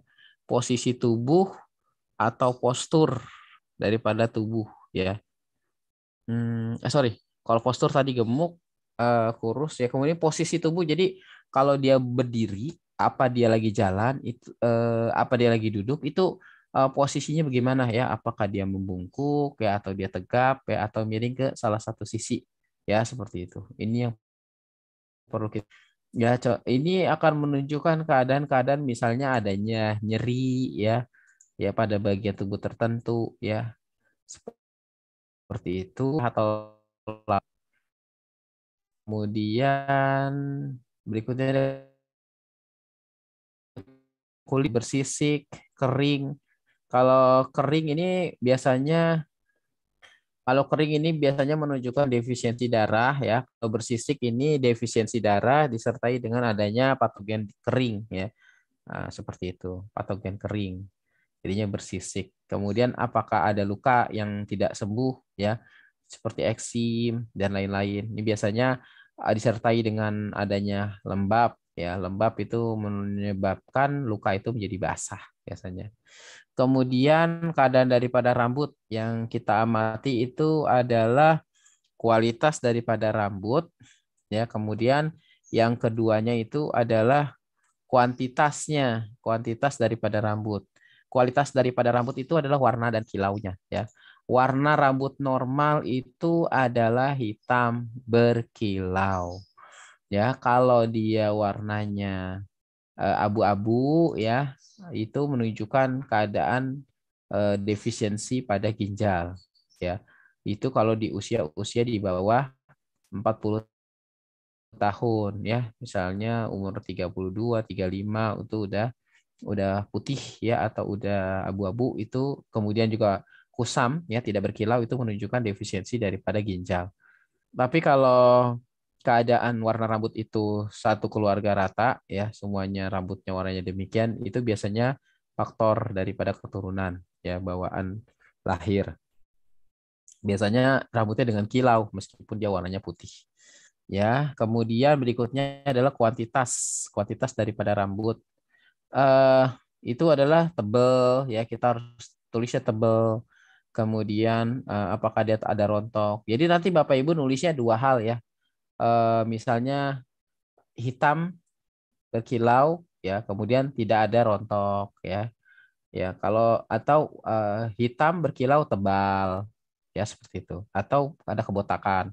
Nah, kalau ada kebotakan, Bapak Ibu tulis tuh lokasi daripada kebotakannya di mana. Apakah di bagian depan area frontal depan apakah dia di puncak kepala ya eh, vertex kalau di bagian depan ya itu menunjukkan keadaan defisiensi eh, sorry bukan defisiensi, menunjukkan keadaan panas ya pada lambung ya. Kemudian kalau eh, botaknya itu hanya di puncak kepala itu menunjukkan panas pada liver ya. Tetapi kalau botaknya itu hampir rata ya, penipisan pada hampir seluruh area kepala itu biasanya defisiensi daripada ginjal. Kemudian berikutnya keadaan daripada ada atau tidaknya cairan hidung ya. Kita tulis nanti misalnya ada hingus, tidak ada hingus ya, seperti itu.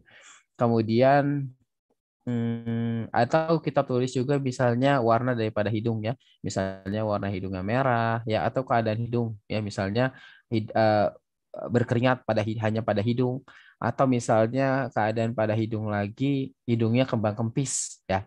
Itu menunjukkan kondisi-kondisi keadaan-keadaan tertentu ya. Kalau adanya cairan hidung uh, nanti kita uh, tulis ya keadaan cairan daripada hidung itu menunjukkan keadaan uh, terserang oleh faktor patogen luar. Ya, kalau dia encer dia biasanya dingin, kalau dia kental warnanya kuning biasanya panas ya. Kemudian warna hidung tuh biasanya merah apa pucet ya, merah pucet apa kekuningan ya, putih pucet merah atau kekuningan tuh biasanya warna hidung. Kalau pucet Eh, putih pucat itu menunjukkan keadaan paru-paru, ya kuning itu menunjukkan keadaan pada limpa, dan kemerahan itu menunjukkan adanya panas.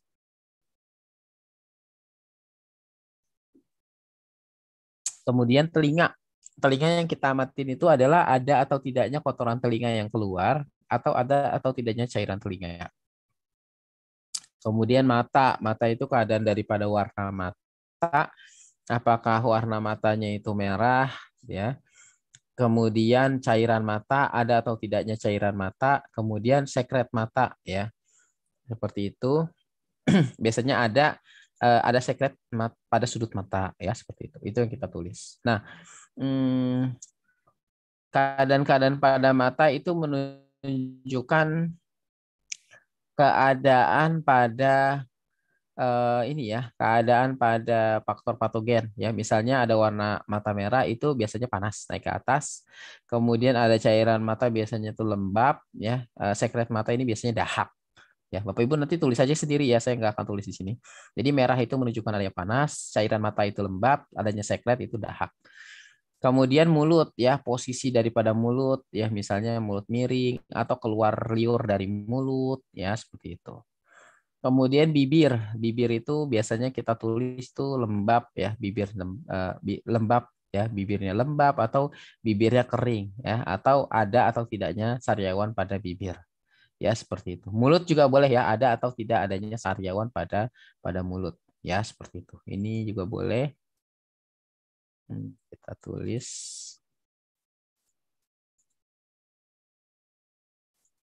Nah, seperti itu. Nah, kemudian yang Bapak Ibu harus perhatikan ya ketika melihat keadaan daripada ini nih. Daripada telinga da eh sorry.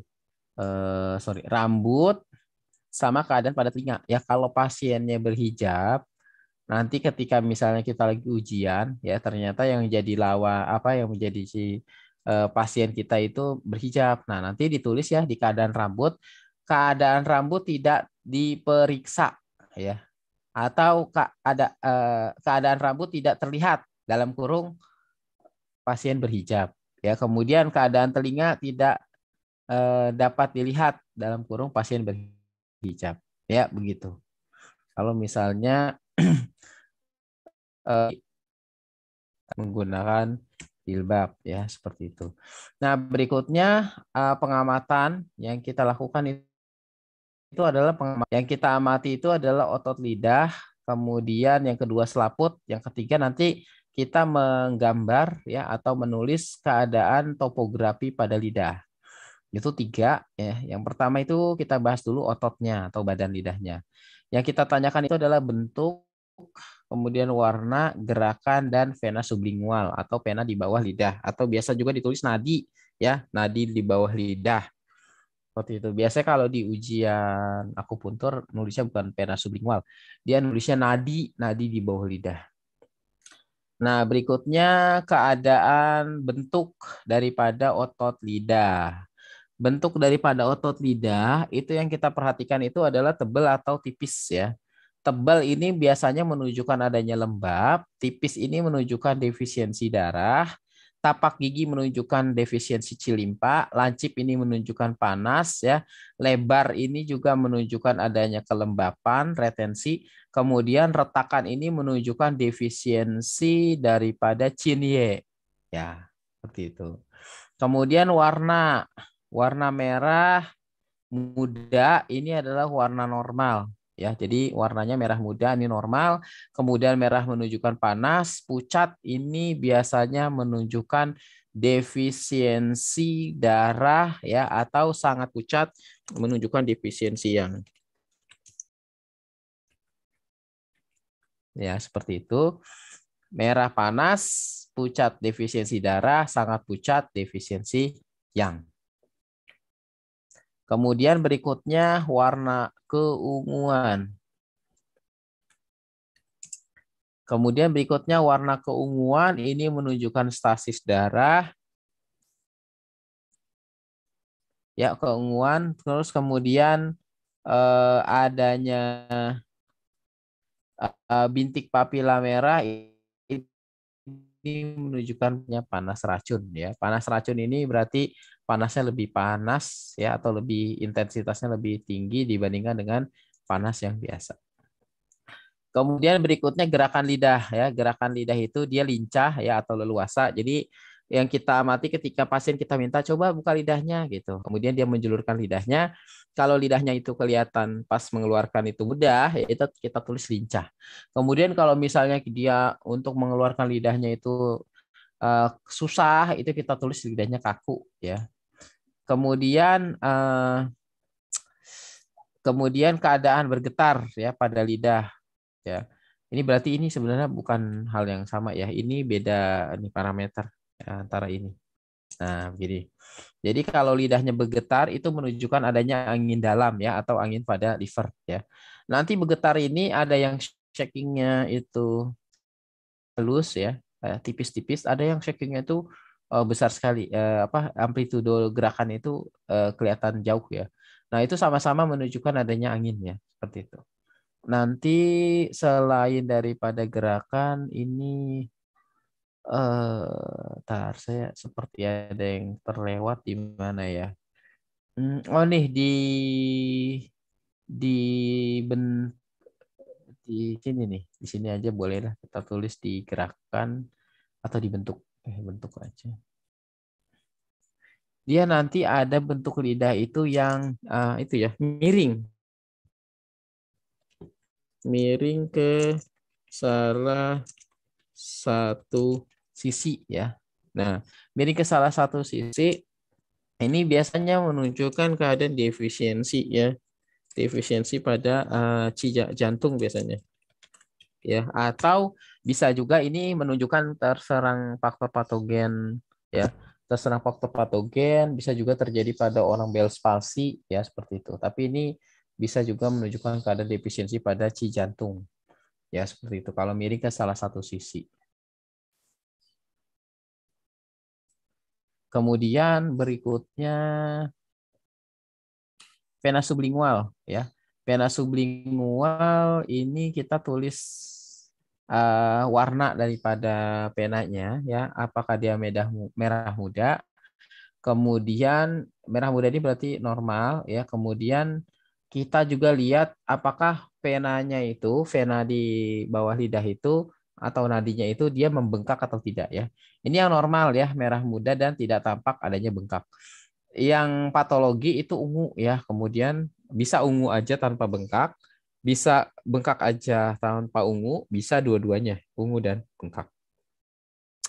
Kalau ungunya itu eh, areanya melebar dari atas ke bawah dan dia bengkak itu menunjukkan adanya stasis yang cukup parah ya setelah menyebabkan uh, terjadinya uh, masalah pada sistem sirkulasi. Ya, seperti itu. Jadi kalau misalnya uh, merah muda ini tidak menunjukkan adanya stasis darah. Kalau ungu ini menunjukkan adanya stasis, ya, seperti itu. Nah ini uh, yang kita perlu perhatikan ini ya. Jadi kalau kita melihat pena sublingual, kita jangan berpikir hal-hal yang lain ya. Kita harus cek apakah ada warna ungunya atau enggak ya.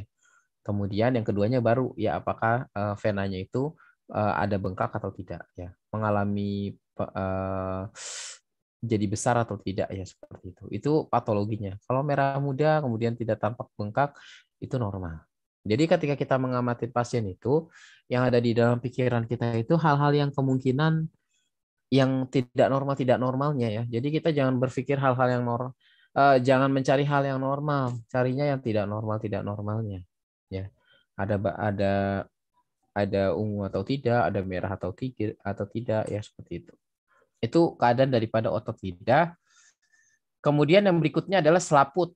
Selaput lidah atau lumut lidah ya atau bulu lidah. Macam-macam istilahnya, tapi kita biasa pakai selaput ya atau eh, lapisan ya sorry ini lapisan kurang ya lapisan lidah itu yang kita amati pertama itu adalah ketebalannya kemudian kelembapannya kemudian kebersihannya bentuknya dan warnanya Ketebalan daripada selaput lidah kemarin menunjukkan keadaan daripada ekses atau defisiensi ya. Ekses atau defisiensi. Dia kalau tebal itu menunjukkan ekses. Ekses itu berarti dari ekses faktor patogen. Kemudian kalau dia eh, tipis ya atau tidak ada selaput lidah itu menunjukkan adanya keadaan defisiensi. Nah, defisiensinya kalau tipis eh sorry tidak ada ya uh, ini dua hal yang berbeda ya. Ini kalau bukan bukan tipis nih. Ini tidak ada selaput lidah. Ini menunjukkan keadaan defisiensi di mana yang defisiensi itu adalah yin ya. Ciri khas tuh kalau udah ada enggak kalau udah enggak ada selaput lidahnya itu berarti defisiensi yin. Kemudian berikutnya kelembapannya, dia lembab atau kering ya. Kita tulis kering atau lembab ya atau basah kemudian kebersihannya bersih ya atau kotor. E, kalau bersih itu normal ya, e, selaputnya bersih ya, tipis ya, kemudian basah itu normal. Kemudian kalau dia kotor e, itu menunjukkan ekses ya. E, tebel kotor itu ekses faktor patogen ya. Kemudian kalau dia ada retakan itu biasanya menunjukkan eh sorry eh, eh retakan itu nanti di tadi udah ya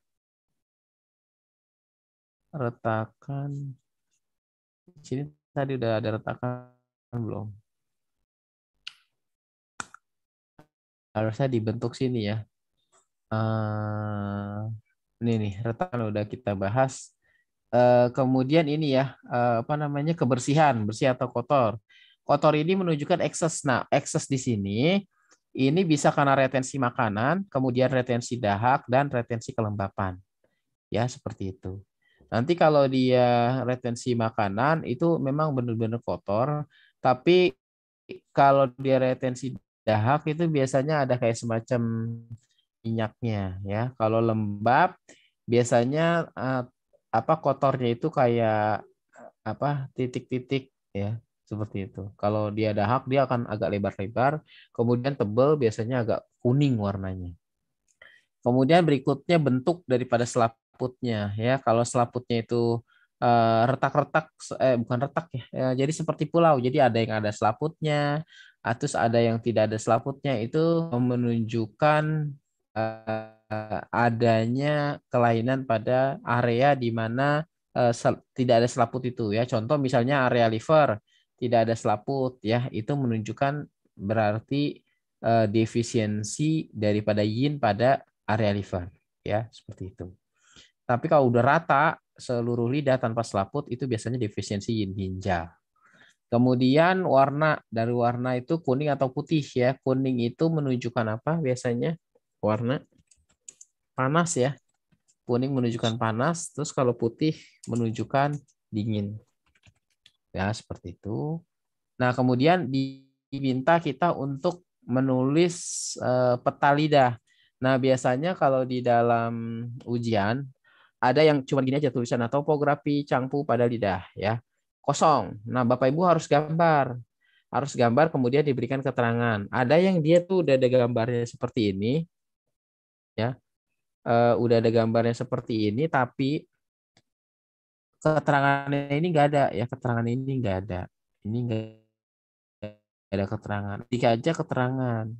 Tapi ada juga yang benar-benar kosong, nggak ada gambarnya. Kita gambar dulu, kemudian kita kasih keterangan sesuai dengan area. ya Di mana ujung lidah itu adalah jantung. Nanti nulisnya boleh tulis jantung, atau boleh tulis cuma HT, ya kemudian LU, eh, kemudian GBLR, ini SPST, ini GBLR juga. Kemudian di sini kita tulisnya KIBL sama SILI, ya seperti itu. Itu seperti itu.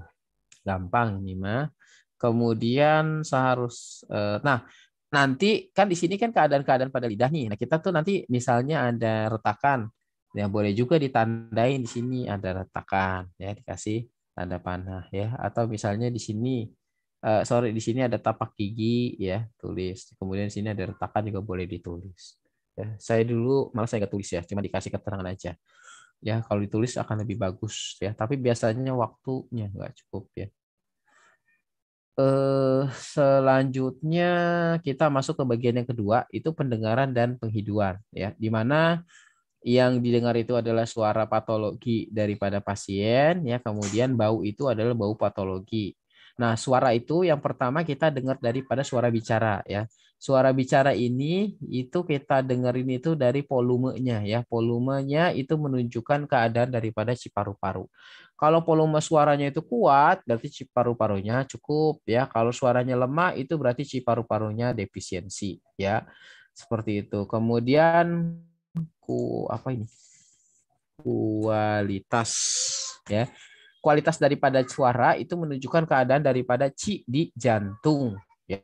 Jadi kalau suaranya eh, sorry kalau ngomongnya lancar ya, itu uh, menunjukkan ci jantungnya itu bagus ya. Tapi kalau suaranya gagap ya uh, ci jantung baik. Nah, kalau suaranya gagap ini biasanya ci jantung defisien. Kemudian ada lagi kemarin saya pernah cerita juga ya, stak stako disebut stako ya. Jadi suaranya itu tiba-tiba kayak keputus itu gitu ada gitu tuh itu menunjukkan adanya uh, stagnasi si hati disebut sebagai stako ya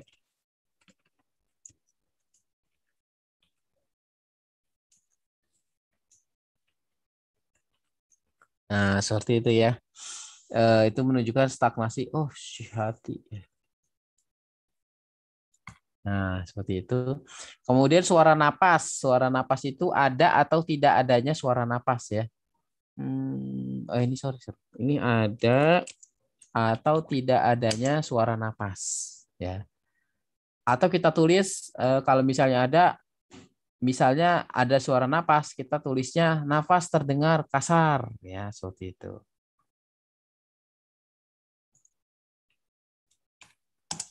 Ya seperti itu ya. Kemudian atau tidak ada suara napas. Ya kemudian batuk ya ada batuk atau tidak ada batuk. Ya kemudian riak ada riak atau tidak ada suara riak. Ya kemudian cegukan ada suara cegukan atau tidak ada suara cegukan. Sendawa ada suara sendawa tidak ada suara sendawa. Nah kemudian kita bahas satu-satu. Sendawa ini menunjukkan keadaan daripada ci lambung yang eh, lambung yang naik ke atas ya. Biasanya karena eh, keadaan daripada di lambung itu eh, cinya itu tidak lancar turun ya. Tidak lancar turun. Biasanya bisa karena adanya stagnasi cihati ya atau adanya dingin ya seperti itu. Sama cegukan juga. Gimana ya? Ya, itu bisa disebut dengan ci terbalik ya? Iya, disebut sebagai uh, uh, disebutnya uh, ci berbalik atau ci memberontak. Iya. Gitu. Tapi uh, ini pada kondisi ringan ya. Sendawa cegukan itu ci berbalik kondisi ringan. Kalau kondisi oh, iya. beratnya itu mual muntah nanti. Oh iya, iya. baik. baik. Nanti dibahas di uh, pas pertanyaan khusus organ. Ya sendawa ini menunjukkan si yang harusnya turun, ya dia turun itu terhambat ya. Bisa ada sendawa. Kemudian atau cegukan. Cegukan ini lebih ke arah dingin biasanya. Kalau sendawa ini bisa karena stagnasi cihati atau adanya lembab pada eh sorry kalau lembab itu pasti ada apa eh, istilahnya itu apa ya kayak hawa apa kayak perasaan enek tuh bisa kalau ada lembab kalau kalau sendawa nggak ada perasaan enek dia hanya keluar angin aja. Itu biasanya karena stagnasi cihati atau adanya dingin. Kemudian kalau cegukan itu biasanya dingin. Kemudian uh, riak ya ada atau tidak adanya riak ini menunjukkan adanya uh, dahak pada paru-paru ya. Kemudian adanya batuk atau tidak adanya batuk uh, ini menunjukkan keadaan pada uh, ci paru-paru ya. Nah batuk itu biasanya kan uh, sorry ci paru-paru kan secara fisiologi dia kan turun ke bawah ya. Meskipun dia juga ke atas untuk me, apa namanya mengeluarkan udara uh, keruh ya uh, cikeruh. Tetapi yang umum adalah dari ci paru-paru itu turun. Nah batuk ini juga menunjukkan adanya ci paru-paru yang uh, fisiologis tidak terjadi ya. Kemudian terjadi patologi dia naik ke atas ya jadi menimbulkan batuk bisa uh, defisiensi ci paru-paru ya bisa adanya defisiensi yen paru-paru kalau dia kejadiannya pada siang hari biasanya defisiensi C ya atau eh, kalau mati kering ya kalau ada dahak berarti batuk ya seperti itu. Tapi kalau batuknya itu terjadi pada malam hari itu biasanya defisiensi daripada yin. Nah, tapi kalau batuknya itu sepanjang uh, sepanjang waktu ya tapi batuknya ringan contoh Hah? Uh. Enggak. Jadi kalau misalnya bat batuk setiap hari batuk begitu, tapi kayak enggak ada dahaknya, ya batuk kering, tapi tidak juga terlalu berat batuknya. Itu disebut sebagai batuk tidak produktif. Biasanya itu kelemahan pada ginjal. Ya, nanti kita konfirmasi apakah ada sakit pinggang, lemah lutut, gitu. Itu umum terjadi juga pada wanita biasanya eh, karena pengaruh daripada eh, melahirkan ya. Misalnya terlalu banyak melahirkan atau ketika melahirkan terlalu banyak keluar darah ya seperti itu. Itu meskipun jarang-jarang terjadi tapi itu memang kita harus harus ini ya kita harus perhatikan. Itu eh, ada kondisi begitu ya. Jadi dia batuk aja hampir tiap hari batuk tapi batuknya itu ya cuman kayak orang batuk biasa ringan tidak berat tapi uh, hampir setiap hari. Nah, itu biasanya dari keadaan daripada ginjal. Ya, jadi batuk itu bukan cuma paru urusan paru-paru. Ya, intinya adalah batuk karena si paru-paru itu naik ke atas ya. Nah, kenapa ginjal bisa menyebabkan batuk itu hubungannya dengan ci ginjal yang kerjanya itu adalah menyerap daripada ci paru ya. Ci ginjal itu menyerap daripada ci ya, ci paru itu kan turun ke ciau tengah, kemudian sama ci ginjal diambil, diturunkan ke bawah ya. Nah, kalau ciki ginjalnya lemah, itu menyebabkan terjadi batuk ya karena paru-parunya tidak bisa turun dengan eh, apa tidak bisa turun dengan baik ya seperti itu. Nah, kemudian berikutnya adalah bau. Nah, ini penghiduan yang kita nilai itu adalah bau mulut, bau keringat, kemudian bau urin, bau peses dan bau riak. Meskipun di dalam praktek kita saat ini ya, ini keadaan-keadaan yang ini itu Eh, kita tidak periksa ya keadaan-keadaan ini kita tidak periksa bau urin, bau peses, bau riak ini kita tidak periksa. Ini udah nggak usah ditanyain. Ini kan karena bukan pertanyaan ya, nggak usah kita pikirkan, langsung aja kita tulis bau urin tidak diperiksa. Kemudian ini masih urin semua ya. Bau peses tidak diperiksa.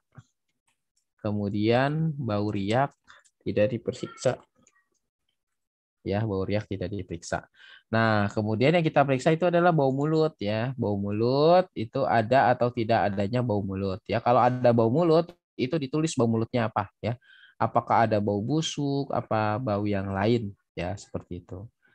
Kemudian ini nanti uh, interpretasinya sesuai bau pada lima elemen ya. Kemudian bau keringat ya, ada atau tidak adanya bau keringat ya. Nanti kalau misalnya ada bau keringat, Bapak Ibu jangan ditulis ada bau keringat tapi ditulis nama bau keringatnya apa ya. Seperti juga bau mulut nama bau mulutnya apa ditulis ya. Eh, bau keringatnya apa misalnya tengika ya seperti itu. Nah warna uh, daripada baunya ini uh, ini biasanya kalau bau busuk pada mulut ini biasanya mencerminkan adanya makanan tidak tercerna ya atau juga adanya panas pada lambung Kemudian kalau bau tengik ini biasanya pada, terjadi pada orang tua ya dengan keadaan uh, penyakit terkait uh, cihati ya atau bau ini uh,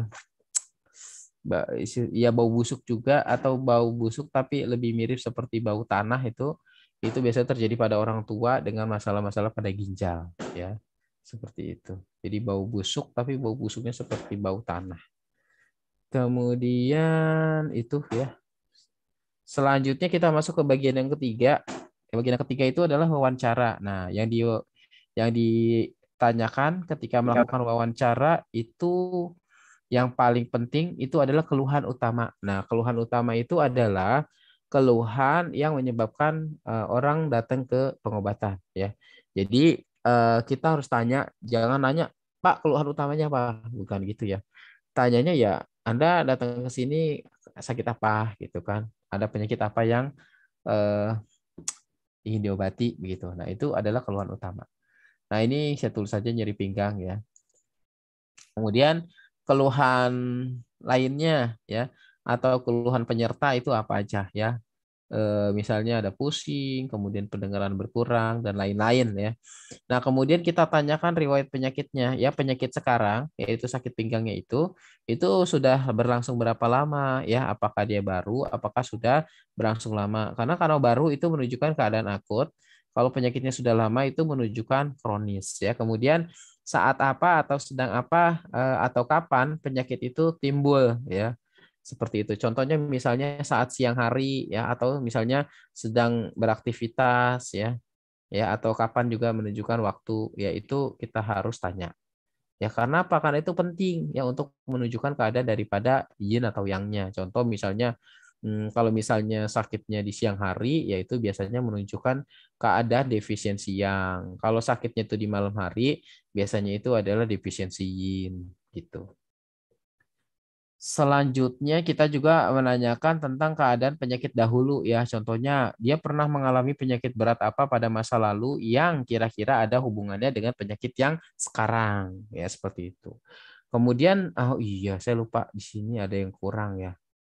Eh riwayat penyakit sekarang. Nah, yang di sekarang ini kita harus tanya juga pengobatan apa saja yang telah dilakukan.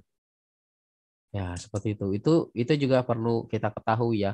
Pengobatan apa saja yang telah kita lakukan. Tapi kalau di ujian kayaknya nggak ada pertanyaan seperti ini. Ya, teman di dalam praktek itu kita perlu tahu ya. itu untuk menunjukkan kepada kita atau untuk memberikan gambaran kepada kita kira-kira sudah dilakukan eh, terapi apa aja nanti kita eh, bisa evaluasi ya. Oh ternyata sudah dilakukan terapi ini itu ya eh, kemudian perubahannya berapa banyak ya. Itu seperti itu itu bisa nanti kita eh, bahan evaluasi untuk menentukan rencana terapi yang lebih tepat. Begitu oke. Nah sebelum kita masuk ke hal-hal umum dan hal-hal khusus kira-kira ada yang mau ditanya dulu nggak? Biar nggak terlalu kebanyakan ya atau kalau misalnya ada pertanyaan nanti lang nanti langsung disampaikan aja ini saya baca chat dulu ya dari Bu Puan ini Oh, enggak ya. Bukan pertanyaan, kemudian Oke, iya iya iya. Iya, uh, walaupun masih pusing nggak apa-apa ya, diterima aja dulu. Nanti uh, dengan seiring berjalannya waktu, ya Bapak Ibu belajar lagi, itu akan apa ya, akan tahu ya karena belajar itu di dalam TSM itu selalu saya bilang seperti kita lagi ngumpulin itu potongan atau kepingan puzzle. Jadi eh, kadang itu kita dapat, tapi kan kita nggak tahu ini nanti buat dipakai, dipakai buat apa ya. Itu simpen aja dulu ya. Nanti tiba-tiba kita ketemu potongan yang lainnya lagi, oh baru kelihatan gambarnya gitu. Ya seperti itu. Memang kalau misalnya mau yang apa ya, yang aplikatif ya memang kita harus langsung ke pembahasan tentang kasusnya. Jadi misalnya eh, satu kasus tertentu, eh, misalnya pusing kepala ya, nanti pusing kepala itu didiferensiasi ya, atau kita definisikan dulu pusing itu apa di dalam TCM ya, kemudian mekanisme yang terjadinya apa, etiologinya bagaimana, kemudian baru diferensialnya bagaimana di dalam TCM. Contoh misalnya pusing itu ada migrain, kemudian ada vertigo ya, kemudian ada pusing secara umum. Itu banyak-banyak tipe. Nah, itu masing-masing dari mereka dari migrain, dari vertigo itu nanti dibagi-bagi lagi jenisnya. Nah, kemudian dari mereka itu eh, penyebabnya apa, nanti terapinya apa, menggunakan titik-titik jenis yang bagaimana, itu dibahas satu-satu. Nah, dari situ biasanya kita akan sedikit-sedikit paham ya. Ini memang kita lagi belajar tentang dasar-dasar ya. Eh, sehingga nanti kalau misalnya Bapak Ibu sering praktek dan kita teori dasarnya kuat, itu akan lebih mudah di dalam memahami mekanisme yang terjadi di dalam klinik kalau kita belajar kasus tapi kita nggak ngerti dasar-dasarnya juga ya sama aja ya kita bingung juga ini asalnya dari mana contohnya misalnya saya bicara vertigo itu adalah pusing yang disebabkan angin ya nah kalau kita nggak tahu teori dasarnya angin itu sebabnya dari mana kan kita nggak bingung ya. Kalau kita udah belajar teori dasar kita tahu angin itu adalah faktor patogen yang berhubungan dengan elemen pohon atau kayu.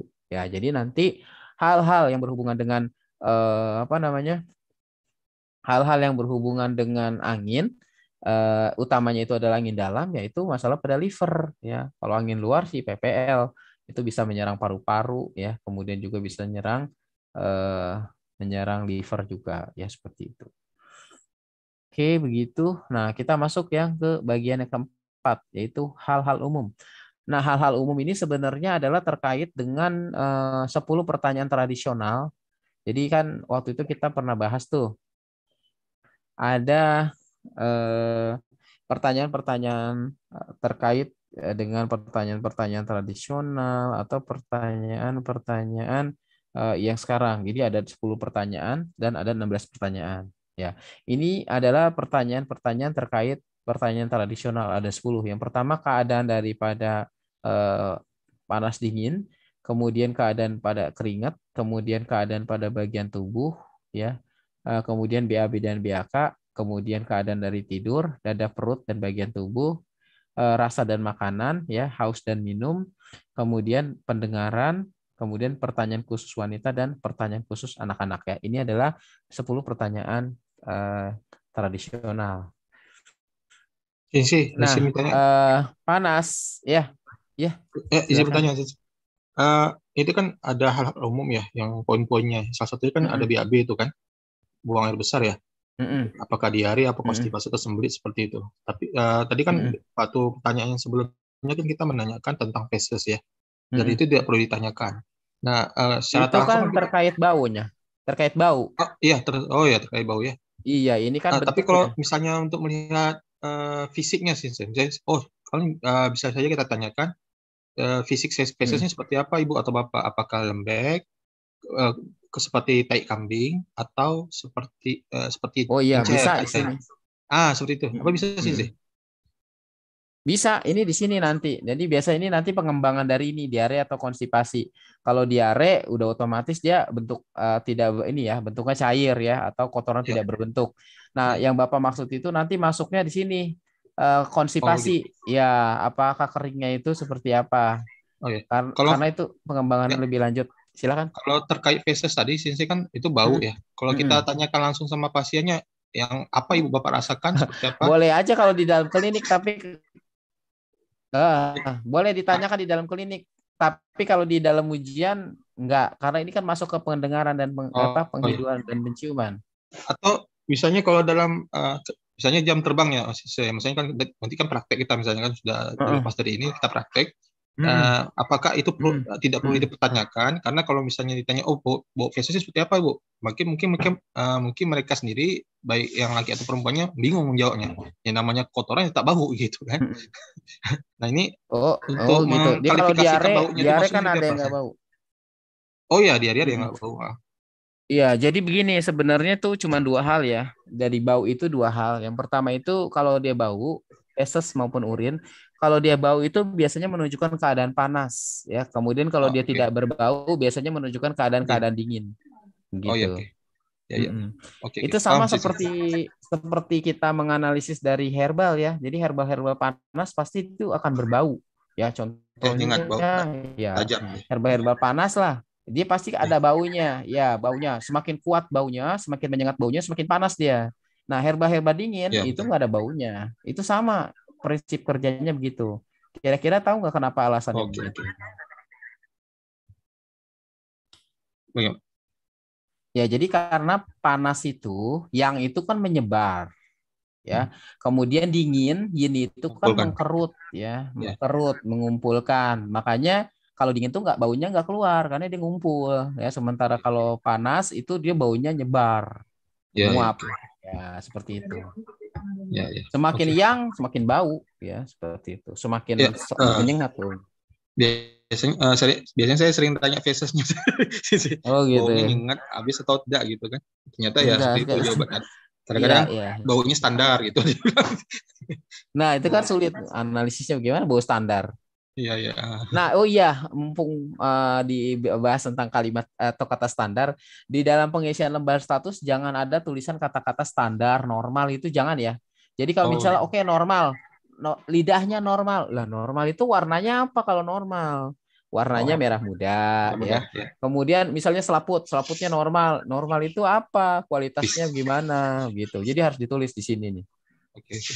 biasanya nih orang eh, ujian di sini nih eh, jadi jadi bahan perdebatan panjang atau nanti banyak ditanya-tanya di sini ya.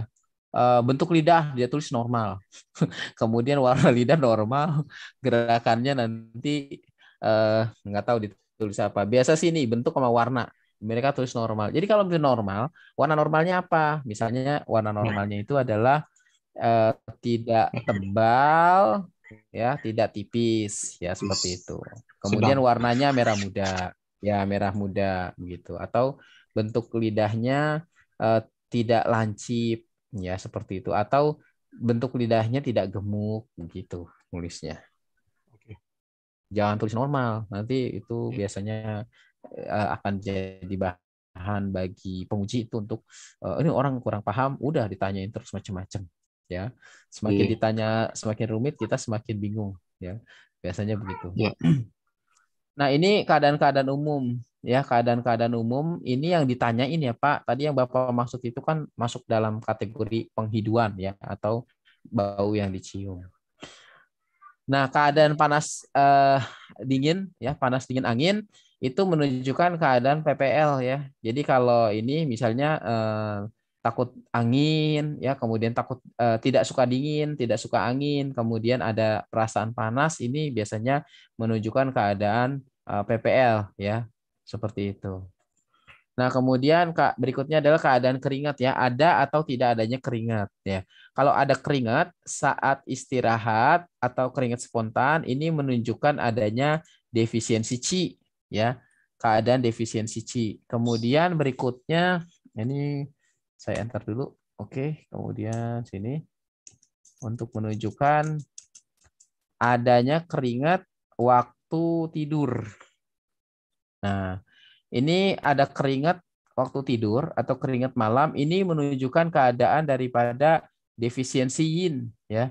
Ini ciri khas nih, ciri khas dari defisiensi yin, adanya keringat ya seperti itu.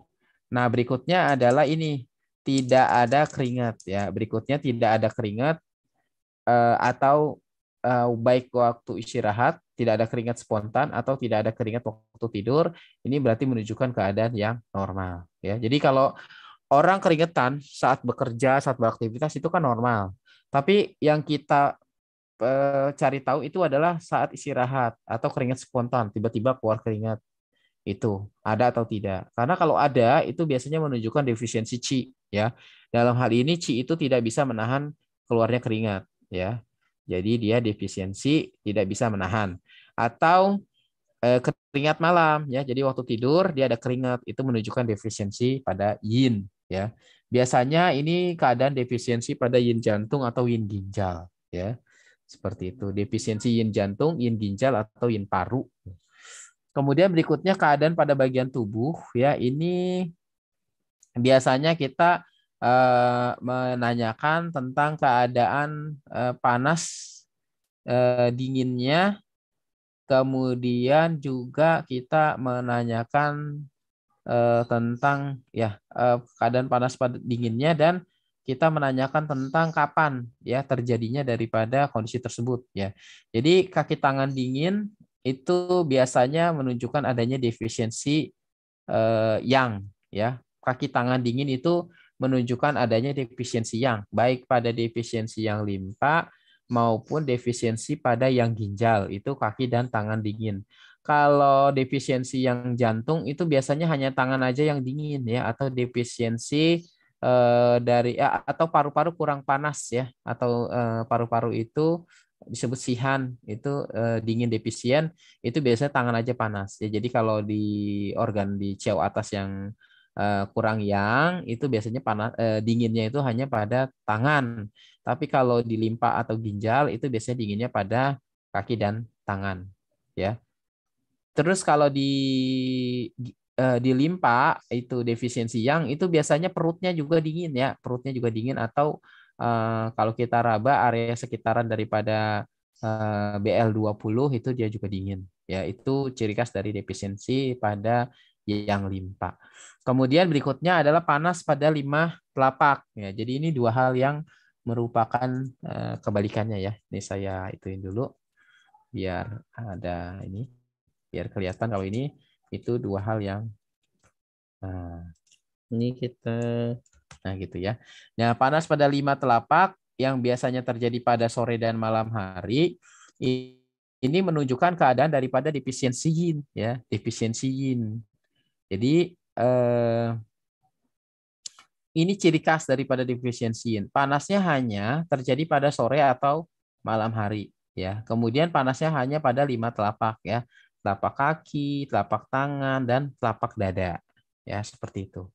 Ini ciri khas daripada defisiensi yin. Baik defisiensi yin jantung maupun defisiensi yin paru-paru dan defisiensi yin ginjal. Ya. Jadi urut-urutannya itu hmm, kalau di defisiensi biasanya defisiensi yin paru, kemudian defisiensi yin jantung, baru yang paling parah itu adalah defisiensi yin ginjal. Nah, masing-masing daripada defisiensi yin ini biasanya bisa kita konfirmasi dari selaput lidah, di mana selaput lidahnya itu tidak hadir ya, atau tidak ada selaput lidah. Tuh, lihat nanti di bagian atas. Ya, tidak ada selaput lidah juga menunjukkan defisiensi yin. Kemudian berikutnya keadaan dari BAB ya. Keadaan dari BAB BAB itu adanya diare atau konstipasi ya. Adanya diare atau konstipasi. Kalau adanya diare, ini biasanya menunjukkan defisiensi daripada cilimpa ya. Ada diare menunjukkan defisiensi daripada cilimpa. Jadi yang cilimpa itu harusnya naik ke atas, mengirim kuci makan uh, kuci atau ci makanan ke paru-paru, dia tidak bisa naik ya. Gagal naik, nah turun ini menyebabkan diare. Kemudian berikutnya adalah konstipasi ya.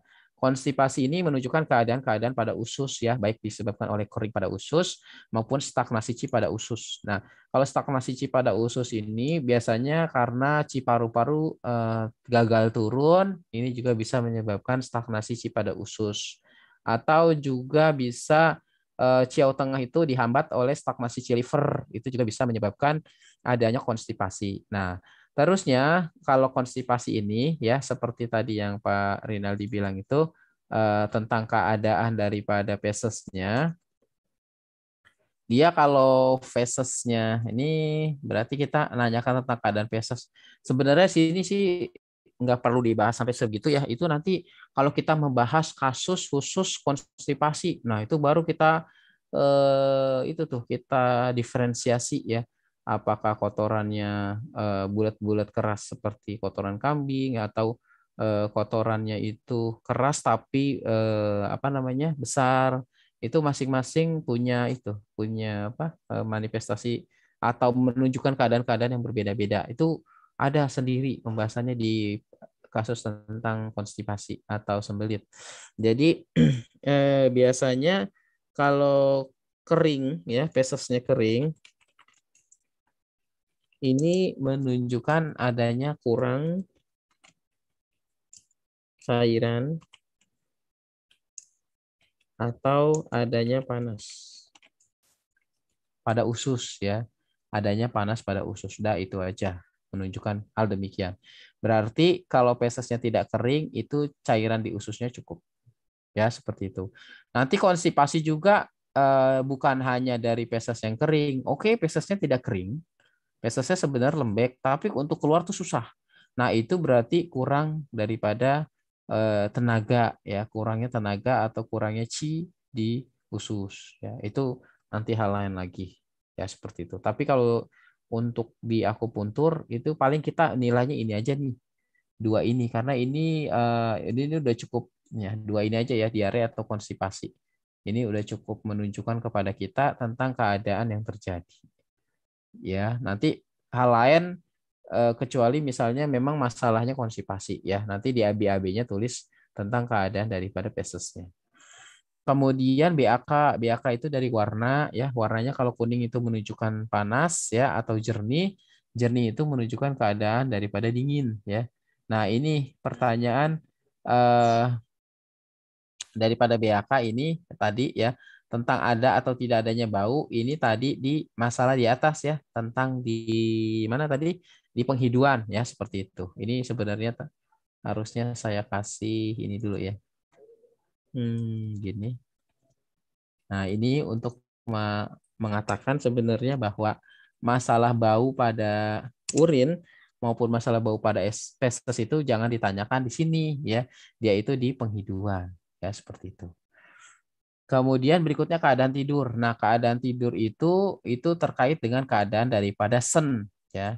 Sen ini hubungannya nanti dengan jantung ya. Sen ini salah satu lima aspek spiritual di dalam TCM yang terkait dengan cang jantung.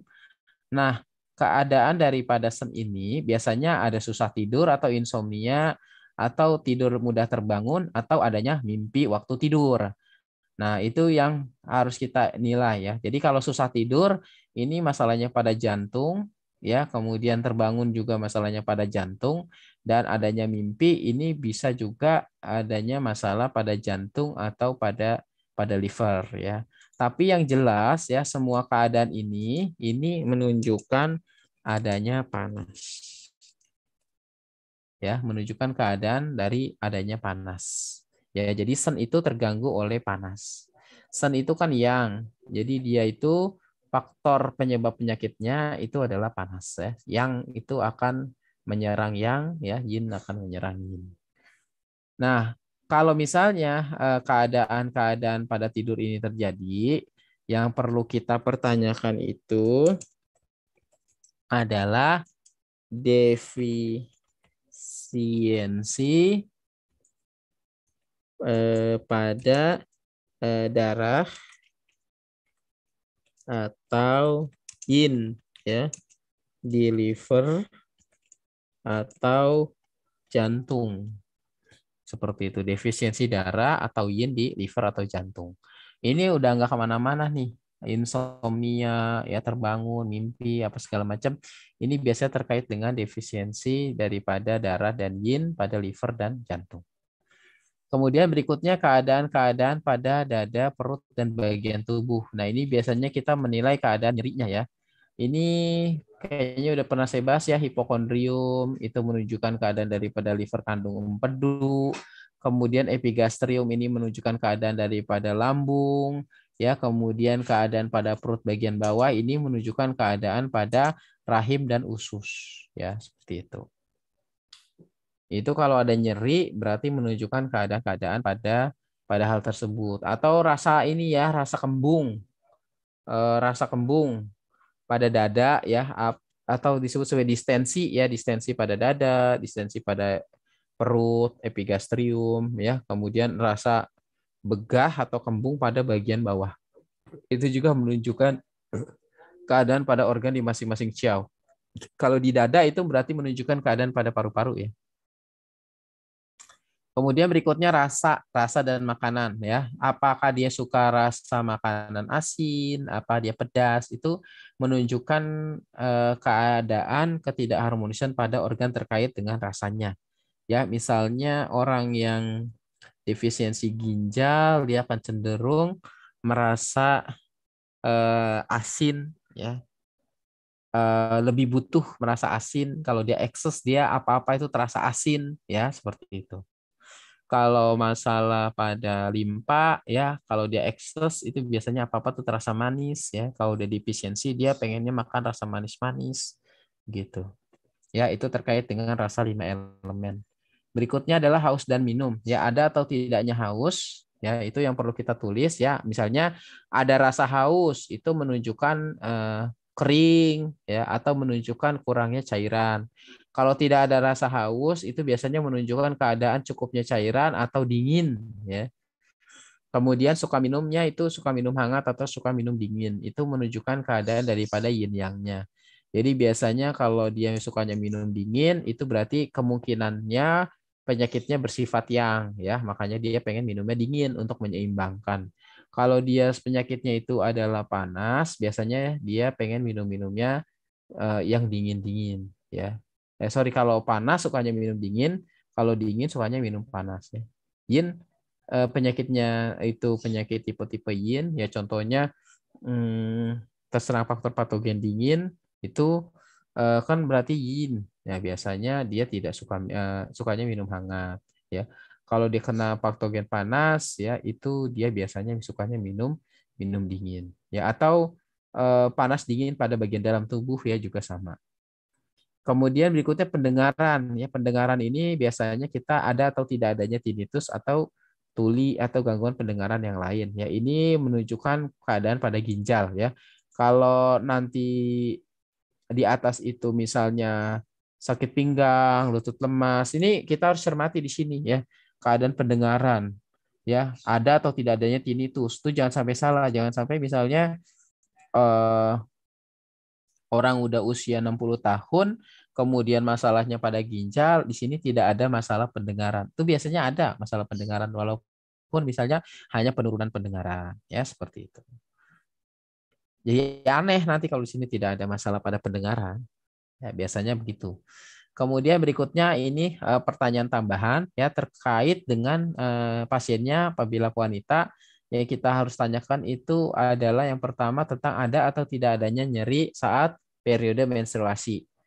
Nah, yang perlu dicatat itu kalau nyeri sebelum menstruasi itu menunjukkan stagnasi qi. Nyeri sebelum menstruasi itu menunjukkan stagnasi qi. Kalau nyeri saat menstruasi itu biasanya menunjukkan stasis darah. Kalau nyeri setelah menstruasinya selesai itu menunjukkan adanya defisiensi darah. Itu tiga hal ya yang Bapak Ibu harus pahamin ya. Jadi kalau ada nyeri, ada nggak nyeri menstruasi? Ada ya. Tapi kapan nyerinya? Sebelum, pas lagi mensnya atau setelahnya ya. Itu kita harus tanya karena masing-masing dari ketiga tempat itu beda-beda manifestasinya ya uh, sorry, masing-masing dari manifestasi yang berbeda-beda itu itu penyebabnya beda-beda. Kemudian pada wanita juga kita harus tanyakan masalah kehamilan ya, udah berapa kali hamil ya, udah berapa kali kegu ah, kalau misalnya pernah keguguran udah berapa kali. Ini menunjukkan keadaan daripada ginjal. Nah, kemudian kalau pasiennya anak-anak ya biasanya kita menanyakan tentang pola makannya bagaimana, sukanya makan apa, ya Eh, kemudian eh, ini juga ya pernah mengalami cedera atau trauma ya seperti itu itu yang perlu kita harus tanyakan. Nah, oke okay, sampai sini ada pertanyaan di hal-hal umum. Coba saya lihat chat, ini chatnya merah. Uh, oh, oke. Okay. Selanjutnya halal khusus. Nah, halal khusus ini terkait dengan um, apa ya ciri khas patologi pada masing-masing organ ya. Ciri khas patologi pada masing-masing organ. Ya misalnya uh, di paru-paru itu kita tulis ada atau tidak adanya sesak napas ya atau napas pendek ya. Kemudian di usus besar ada atau tidak adanya konstipasi ya atau sembelit Kemudian di lambung itu kita harus tanya tentang ada atau tidak adanya keadaan mual, muntah, ya, sendawa, cegukan, ya. Kalau mual muntah ini biasanya ci lambung e, berbalik ya, e, atau ci memberontak pada lambung yang sudah cukup parah ya, menyebabkan terjadinya mual muntah. Kalau masih ringan-ringan biasanya hanya sendawa dan cegukan ya seperti itu kemudian eh, pada limpa ya ada atau tidak adanya diare ya. Kemudian ada atau tidak adanya badan terasa berat ya atau anggota badan terasa berat, kaki tangan terasa berat. Kemudian uh, ada masalah nggak dengan nafsu makan ya? Tidak adanya nafsu makan nggak ya? Kalau misalnya penyakitnya terkait dengan limpa ini yang di pertanyaan tentang limpa ini kita harus perhatikan. Kemudian masalah pada jantung itu ada atau tidak adanya palpitasi atau jantung berdebar, ada atau tidak adanya nyeri dada pada sisi kiri, ya. Kemudian ada atau tidak adanya insomnia atau sulit tidur. Kemudian berikutnya adalah pertanyaan terkait usus kecil, ya. Di situ yang harus kita tanyakan itu adalah ada atau tidak adanya nyeri pada perut bagian bawah. Pada kandung kemih ada atau tidak adanya masalah pada urinasi, ya. Contohnya misalnya eh, nyeri pada saat ber, berkemih ya atau anyang-anyangan ya eh, ke, eh, berkemih terasa panas terus kemudian misalnya eh, berkemihnya tidak tuntas dah macam-macam masalah perkemihan itu di masalah di kandung kemih. Kemudian di ginjal itu ada atau tidaknya sakit pinggang, ada atau tidaknya lutut terasa lemas, atau ada atau tidaknya tinnitus. Ya, Nah, karena tinnitus ini tadi juga terkait di bagian atas, nah ini maka di sini nanti biasanya tinnitusnya tidak kita kita bahas ya, kita bahasnya di ini aja. Sakit pinggang atau lutut terasa lemas. Kemudian berikutnya di perikardium juga adanya nyeri dada ya. Biasanya kalau di perikardium itu nyeri dada pada bagian tengah ya, atau nyeri dada umum.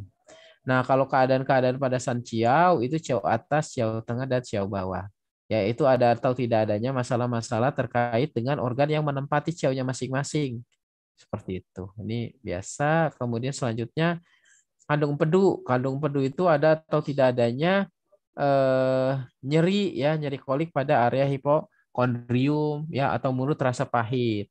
Ya, kalau misalnya ada mulut terasa pahit itu biasanya menunjukkan adanya panas ya pada kandung pedu atau misalnya nyeri pada area hipokondrium itu biasanya stagnasi uh, dari chi di uh, kandung pedu ya begitu. Itu yang perlu kita tanyakan. Kemudian liver, liver itu ada atau tidak adanya masalah penglihatan ya. Ini terkait defisiensi darah. Ini saya tulis dulu ya. Ini biasanya terkait daripada defisiensi darah atau yin di liver. Kemudian berikutnya angin ya. Liver ini sangat umum terkait dengan angin ya, adanya pusing, kejang, tremor, lidah bergetar, kesemutan itu menunjukkan adanya eh sorry kesemutan ini enggak termasuk ya. Adanya angin. Nah, kesemutan ini nanti masuk di kategori sini. Defisiensi darah. Ya, enggak saya saya pisahin aja lah. Ini juga menunjukkan defisiensi darah. Nah, seperti itu ya. Itu terkait dengan keadaan kesemutan. Kalau udah itu aja sih sebenarnya. Nah, yang perlu saya garis bawahi ini di pertanyaan-pertanyaan khusus ya. Ini kalau di dalam praktek beda lagi ya. Tapi kalau di dalam ujian untuk hemat waktu itu Bapak Ibu triknya di bagian atas itu di mana? Di per, keluhan utama itu keluhannya apa? Kira-kira keluhan itu terkait organ yang mana? Nah, nanti yang kita tulis di sini yang ada patologinya itu terkait dengan keluhan utama. Misalnya tadi keluhan utamanya sakit pinggang. Nah, yang perlu kita perhatikan ini di sini aja udah dua ini aja. Ya, di dua ini ya sorry, kita kasih warna. Nah, di dua ini aja yang kita perhatikan. Nanti di LU LI ST SP-nya langsung aja ditulis ya. Tidak ada sesak napas, tidak ada sembelit ya, tidak ada mual muntah, tidak ada atau di sini kita tulis nafsu makan baik ya, kemudian tidak ada palpitasi ya, kemudian sini tidak ada nyeri perut bagian bawah ya, tidak ada nyeri dada, kemudian sini eh, tidak ada masalah pada dada, tidak ada masalah eh, pada perut eh, bagian atas ya. Misalnya di sini tidak ada masalah pada perut bagian bawah. Kemudian di di apa namanya? di siapa? kandung pedu ya, kita tulis nih tidak ada nyeri kolik ya. Kemudian uh, tidak ada masalah penglihatan gitu. Udah kita fokus aja di sini. Ini langsung ditembak aja. Biasanya kalau ujian begitu untuk mempersingkat waktu ya. Kita aja ngebahas ini udah lebih dari satu jam ya seperti itu kan. Apalagi nanti pas ujian mikir kira-kira jawabannya apa, ini pasien ini yang mana ya kan. Nah seperti itu langsung kita tulis ya sesuai dengan keadaan-keadaan ini. Ini makanya nanti Bapak Ibu ingat nih keadaan-keadaan ini. Gitu. Nah, kemudian bagian yang keempat, bagian yang keempat palpasi ya. Palpasi itu dibagi jadi tiga. ya, yaitu palpasi area keluhan, kemudian palpasi titik akupunktur dan palpasi nadi ya. Nah, palpasi area keluhan itu kita tadi sesuai dengan penyakitnya ya. Misalnya sakitnya sakit pinggang, ya keluhannya keluhan area pinggang. Kalau sakitnya sakit lutut, ya palpasinya area lutut gitu, sesuai dengan lokasi daripada eh, penyakitnya ya. Kalau sakitnya sakit perut ya kita lakukan palpasi pada perut yang kita lakukan ketika kita palpasi area keluhan itu kita mencari ada atau tidak adanya nyeri, ada atau tidak adanya perbedaan suhu dan bagaimana tekstur daripada area nyeri tersebut.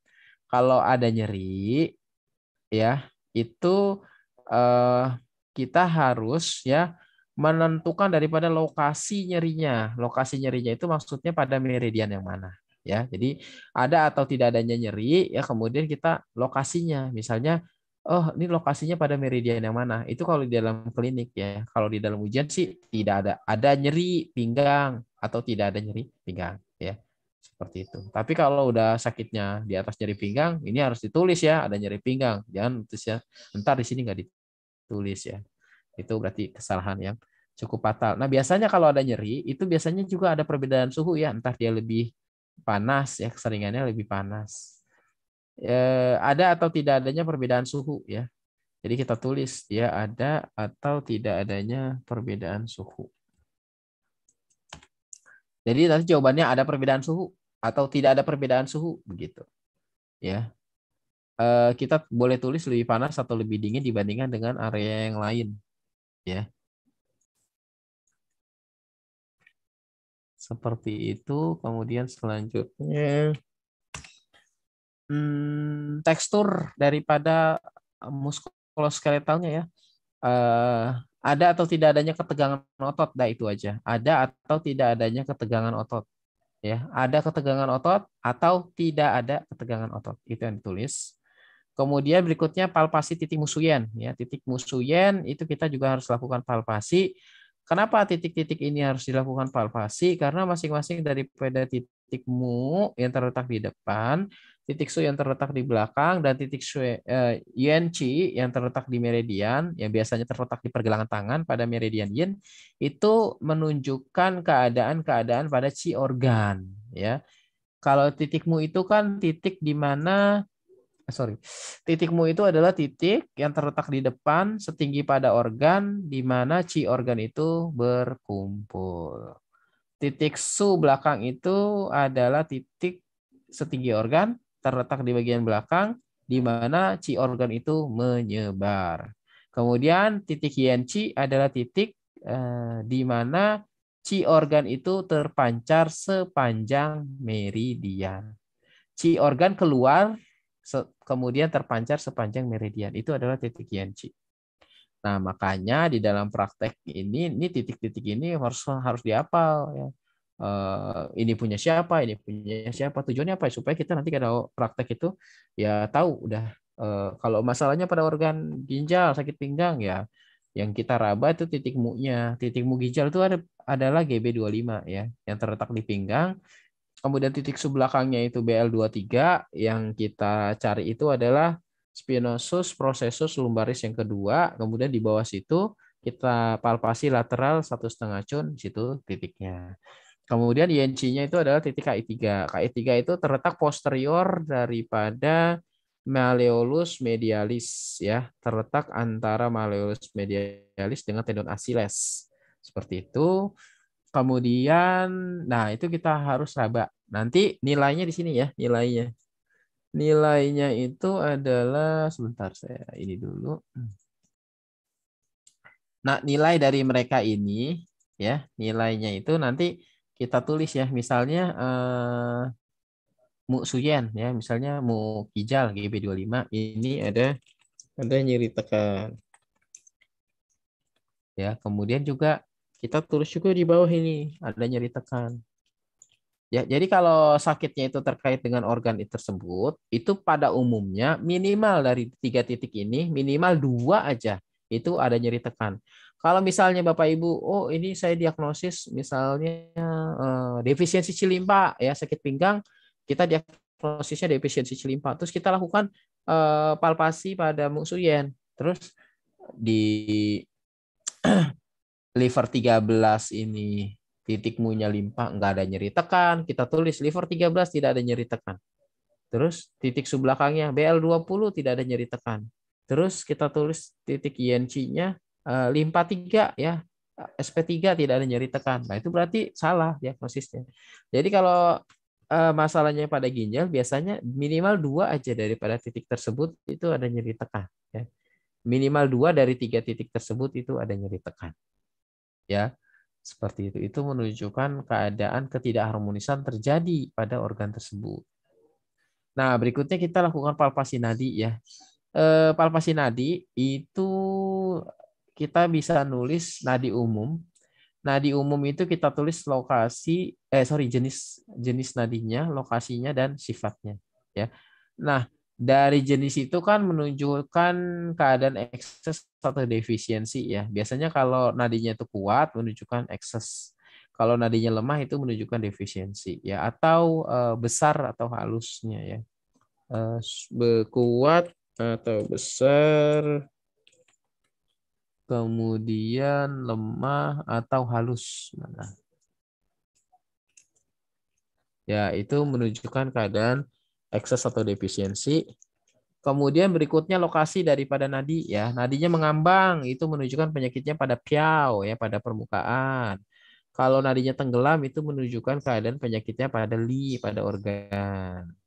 Nah kemudian sifat daripada nadi ya sorry sifat daripada penyakit ditunjukkan dari keadaan nadi ya. Kalau nadinya cepat itu menunjukkan sifat penyakitnya panas kalau nadinya lambat menunjukkan sifat penyakitnya itu adalah dingin ya ini sebenarnya diferensial diagnosis berdasarkan apa pakang ya saya udah jelasin di kelas ini tentang pakang atau delapan dasar diagnosis yaitu ada Piauli, uh, Shishe, ya, uh, dan Hanre seperti itu. Nanti kita tulis begini. Nah, kemudian palpasi nadi khusus. Nah, tadi penyakitnya apa? Sakit pinggang. Nah, sakit pinggang itu organnya ini yang terkait ya. Entah di eh, biasanya sih kalau sakit pinggang masalahnya pada organ ginjal atau pada meridian kandung kemih ya. Pada organ ginjal atau meridian kandung kemih. Kenapa ya? Pinggang kan dikuasai oleh meridian kandung kemih ya. Meskipun juga ada meridian kandung empedu ya, tapi kan kandung empedunya GB25 yang ke pinggang. Itu menunjukkan apa? Keadaan pada titik mu-nya ginjal. Seperti itu. Nah, biasanya sih meridian kandung eh, kandung kemih ya kalau meridian. Kalau organ organ ginjal. Dah, begitu. Sampai sini ada pertanyaan tentang palpasi. Nah, habis dari situ baru nanti kita tulis nih diagnosisnya bagaimana. Ya, nah diagnosisnya tadi kan sakit pinggang ya. Eh, keluhan utamanya. Kemudian lokasi penyakitnya di piau, misalnya meridian BL. Ya, ini ya eh, kalau kalau eh, penyakitnya ini baru ya. Jadi nanti Bapak Ibu tinggal lihat ya, ini apakah sakit pinggangnya ini apakah pada organnya yang bermasalah atau sakit pinggangnya hanya pada meridiannya. Kalau piau hanya pada meridian BL ini biasanya ekses eh bukan ekses akut. Kemudian usia eh, di bawah eh, kalau laki-laki ya di bawah 50 tahun lah ya. Atau perempuan juga di bawah 50 tahun. Sorry, 59.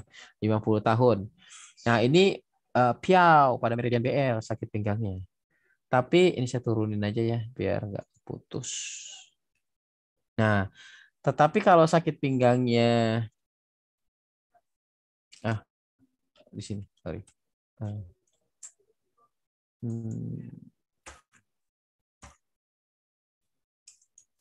Tapi kalau dia li penyakit pinggangnya itu karena penyakit di, di dalam. Jadi nanti tahu piaulinya dari mana? Bapak Ibu kira-kira tahu piaulinya dari mana?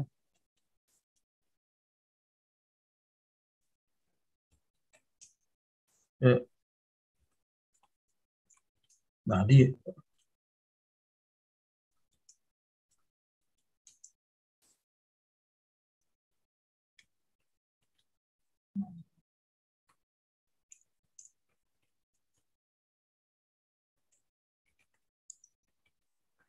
Ya, jadi kalau dia terjadi pada orang di bawah 50 tahun, biasanya umur 35 ya, umur masih 20-an, itu biasanya piau ya. Meridian BL. Akut penyakitnya, baru aja kapan? Tiga hari yang lalu ya.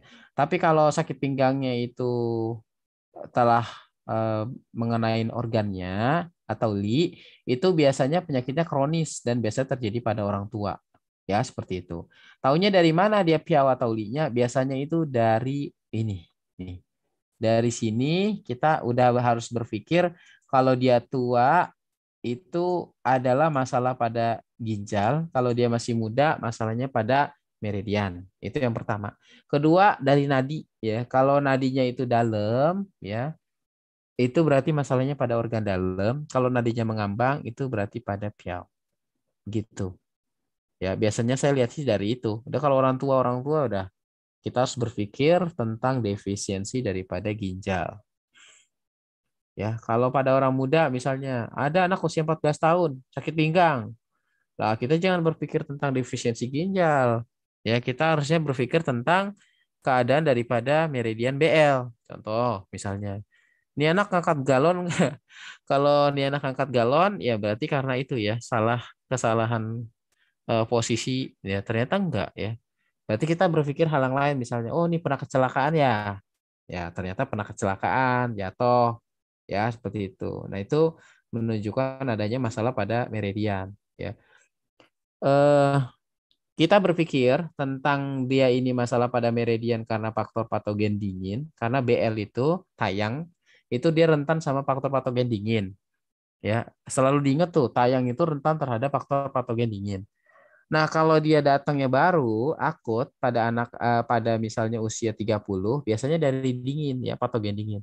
Tapi kalau pada kasus anak-anak tadi yang usia 14 tahun, nyeri pinggang, ditanya, "Ini nyeri pinggangnya udah berapa lama?" Udah setahun. Wah, udah setahun ini kan kronis kan ya masa iya anak uh, usia 14 tahun defisiensi defisiensi zinc ginjal defisiensi yang ginjal ya. Maka kita harus berpikir tentang pernah terjadinya trauma atau kecelakaan atau jatuh ya.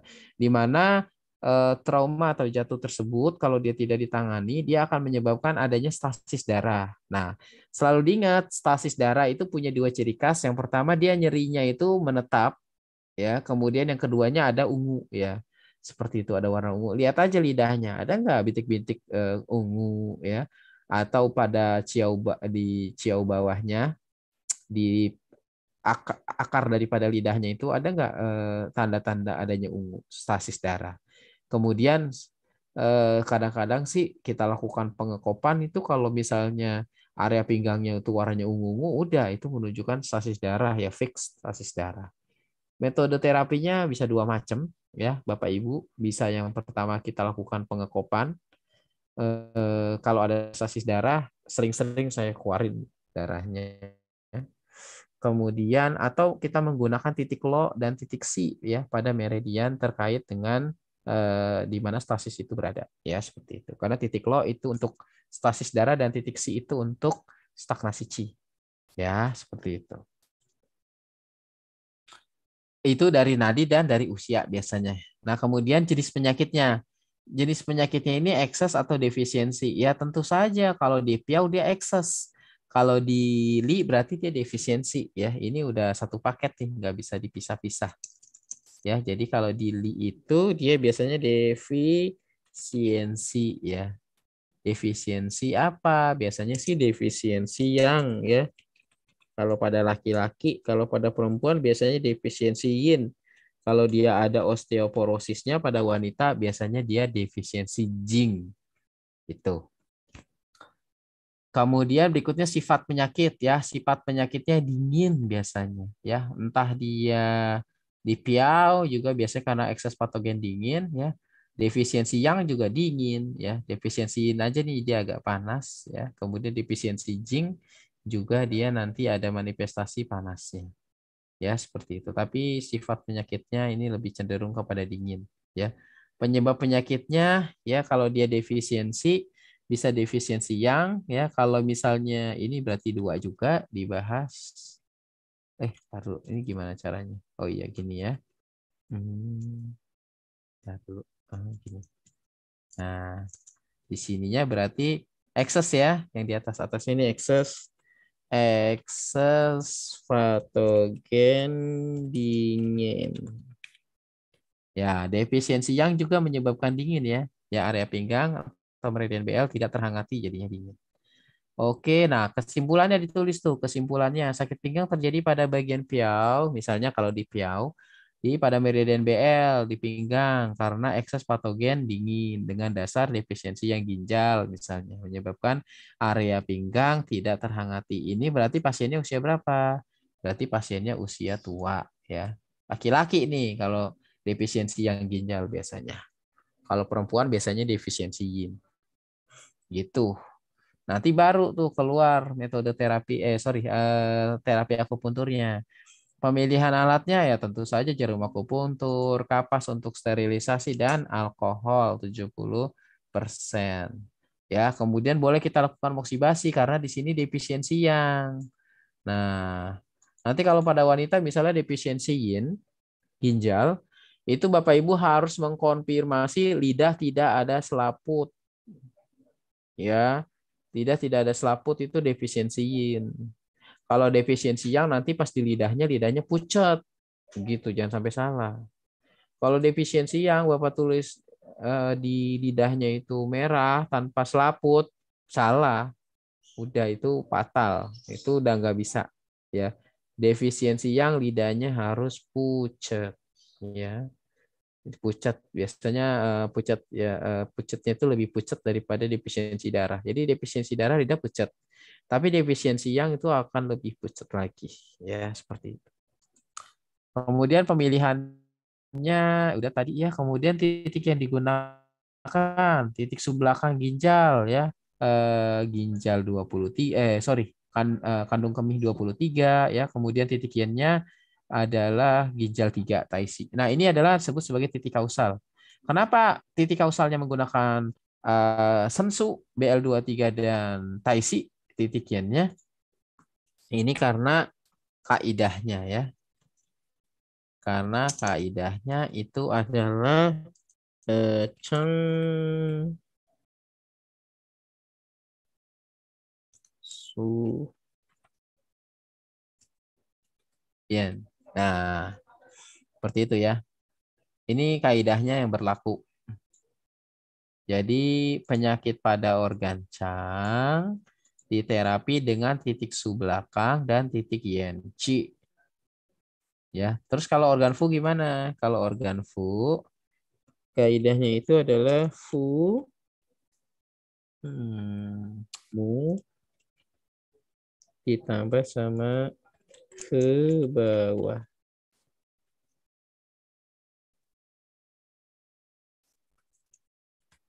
Ya, berarti kalau misalnya penyakitnya pada organ fu, nah ini kira-kira dipakai nggak nih fumuhnya? Enggak ya, karena penyakitnya bukan pada organnya, pada meridiannya. Berarti kalau pada meridiannya itu yang dipakainya titik su usunya, titik su usu pada meridian ginjal gitu atau titik C dan titik low-nya pada meridian ginjal ya. Nah, kemudian untuk titik simptomnya karena dia ada apa namanya keadaan dingin dari defisiensi yang kita tambah tuh untuk meningkatkan yangnya. Kita gunakan SI3 sama BL62 ya. Ini SI3 adalah titik induk dari meridian tu ya. Meridian tu adalah meridian yang kaya akan yang atau lautan yang, makanya kita pakai SI3 ya. Kemudian titik lokalnya bisa BL20, 21, 22 ya. Kemudian kalau misalnya dia disertai dengan adanya perut kembung, misalnya kita tambahin dengan REN 12, ST36. Nah, ini nanti perut kembungnya harus ditaruh di bagian lambung ya. Misalnya ada mual muntah, perut kembung ya uh, ditentang pertanyaannya. Ya seperti itu. Ada perut kembung. Kalau nggak ada perut kembung di sininya nih. Uh, biasanya di sini ya. Nah, keadaan pada dada dan perut. Misalnya sini kan ada sini nyeri ya. Ya, sini saya tulisnya nyeri. Nah, misalnya nanti Bapak Ibu tulisnya di sini uh, tidak ada nyeri ya. Lam, tidak ada nyeri di hipokondrium, tidak ada nyeri epigastrium, tiba-tiba di bawah muncul perut kembung. Nah, itu akan menjadi pertanyaan. Biasanya kalau memang di bawah itu ada perut kembung, di sininya harus ditulis ya atau kita menggunakan titik-titik tambahan, eh sorry, eh, titik-titik gejala itu di bagian bawah itu karena di sini ada gejala ya. Misalnya, oke okay lah dia penyakitnya pada ginjal ya, tetapi dia juga ternyata ada defisiensi celimpa dengan keadaan eh, tidak ada nafsu makan. Ya. Berarti nanti di sini kita gunakan eh, kita tak tambahin lagi di sini ya titik untuk menambah nafsu makan. Ya untuk meningkatkan nafsu makan kira-kira titiknya apa?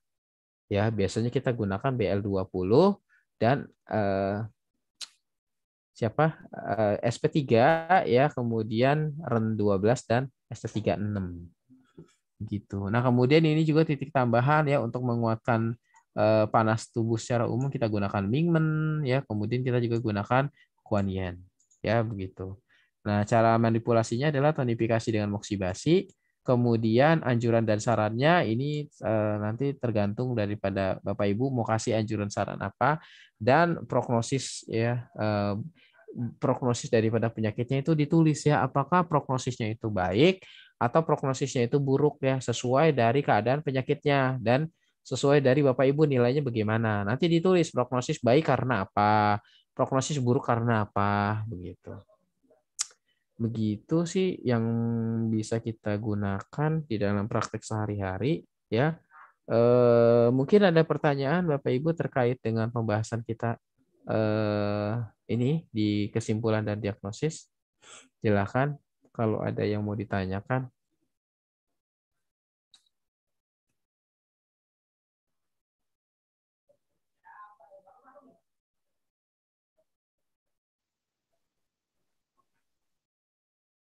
Kira-kira ada pertanyaan terkait ini. Ini eh, penting ya Bapak Ibu ya. Soalnya nanti kalau ujian, tapi ujian di LSK Sinse ya. Jadi Bapak Ibu kalau nanti eh, kan udah mau lulus nih ceritanya di akupuntur herbal. Kalau mau ujian di LSK Sinse itu so, apa lembar statusnya nggak jauh-jauh begini, nggak jauh-jauh dari ini ya, mirip-mirip kayak gini lah paling nanti ada modifikasi sedikit perbedaan gitu. Tapi intinya begini. Jadi Bapak Ibu sekitar 90 85 sampai 90% persen tuh udah paham lah apa yang harus ditulis ya, kemudian bagaimana cara ngisinya. Kemudian nanti kalau misalnya ditanya-tanya itu jawabannya apa, itu kan tadi saya udah jelasin semua ya. Misalnya eh, misalnya dari misalnya dari keadaan ini aja, dari keadaan eh, rambut ya misalnya bapak ibu tulis ada kebotakan itu harus ditulis kebotakannya di mana ya ini kan udah saya kasih tahu tuh kalau kebotakannya di bagian depan itu masalah panas pada lambung ya yaitu meredi eh, pada organ lambung ya kemudian kalau eh, kebotakannya pada puncak kepala itu masalah pada panas di di liver ya begitu itu nanti bisa di akan ditanyain tuh di dalam eh, wawancara nah kalau di ujian itu di LSK Sinse atau di LSKAI yang akupuntur tuh biasanya ujiannya dua hari ya. Hari pertama itu pagi-pagi kita dihadapkan dengan pasien. Kita menulis lembar status ini ya, kemudian istirahat. Habis itu kita eh, melakukan penusukan ya. Atau kalau di Sinse itu nanti ini ya eh, menyajikan ya resepnya herbal apa aja yang digunakan. Nanti ditanya-tanya kalau di akupuntur kenapa Anda menggunakan titik ini, alasannya kenapa, ya. Itu terkait dengan tadi ya, saya jelasin. Kenapa Anda ambil titik kandung empedu, eh sorry kandung empedu, kandung kemih 23 ya, BL23 dan Anda ambil titik ginjal 3 ya atau KI 3 itu Bapak Ibu harus tahu harus jawab apa. Ya, tadi kan di bagian bawah udah saya kasih tahu penjelasannya. Mana? Nah, sini ya.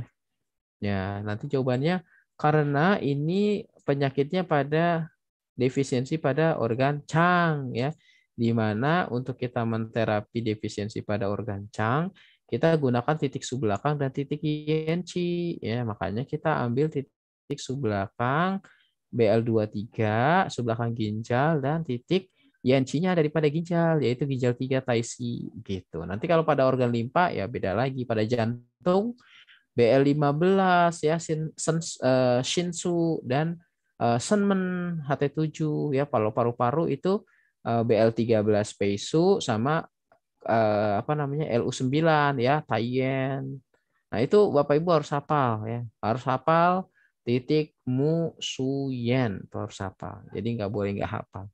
Hafal itu nanti tujuannya tadi ya untuk perabaan titik mu su yen dan untuk terapi. Dan juga hak bawah tuh harus hafal. Jadi titik hak bawah usus besar itu ST37 uh, bawah daripada usus kecil itu ST39, uh, hak bawah daripada Sanxiao itu uh, GB30 eh sorry BL39 ya itu harus hafal. Hak bawah lambung itu ST36, hak bawah daripada kandung empedu GB34 ya, hak bawah dari BL itu BL40 itu harus hafal karena itu nanti kepake kalau penyakitnya pada organ fu ya kita harus tahu titik mu-nya dan titik ke bawahnya. Jangan sampai nggak hafal titik mu-nya.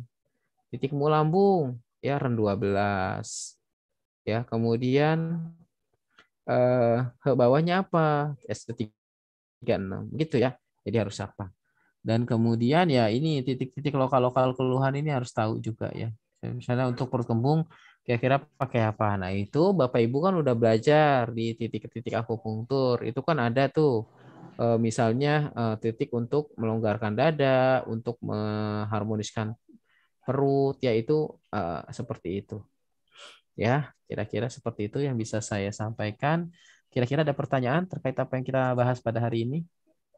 Itu contoh untuk pengisian misalnya untuk uji kompetensi Sinsei ya? Iya, uji kompetensi di uh, lembaga lembaga sertifikasi kompetensi. Tapi kalau di BNSP nanti nggak se, se serumit ini sih, akan lebih sederhana.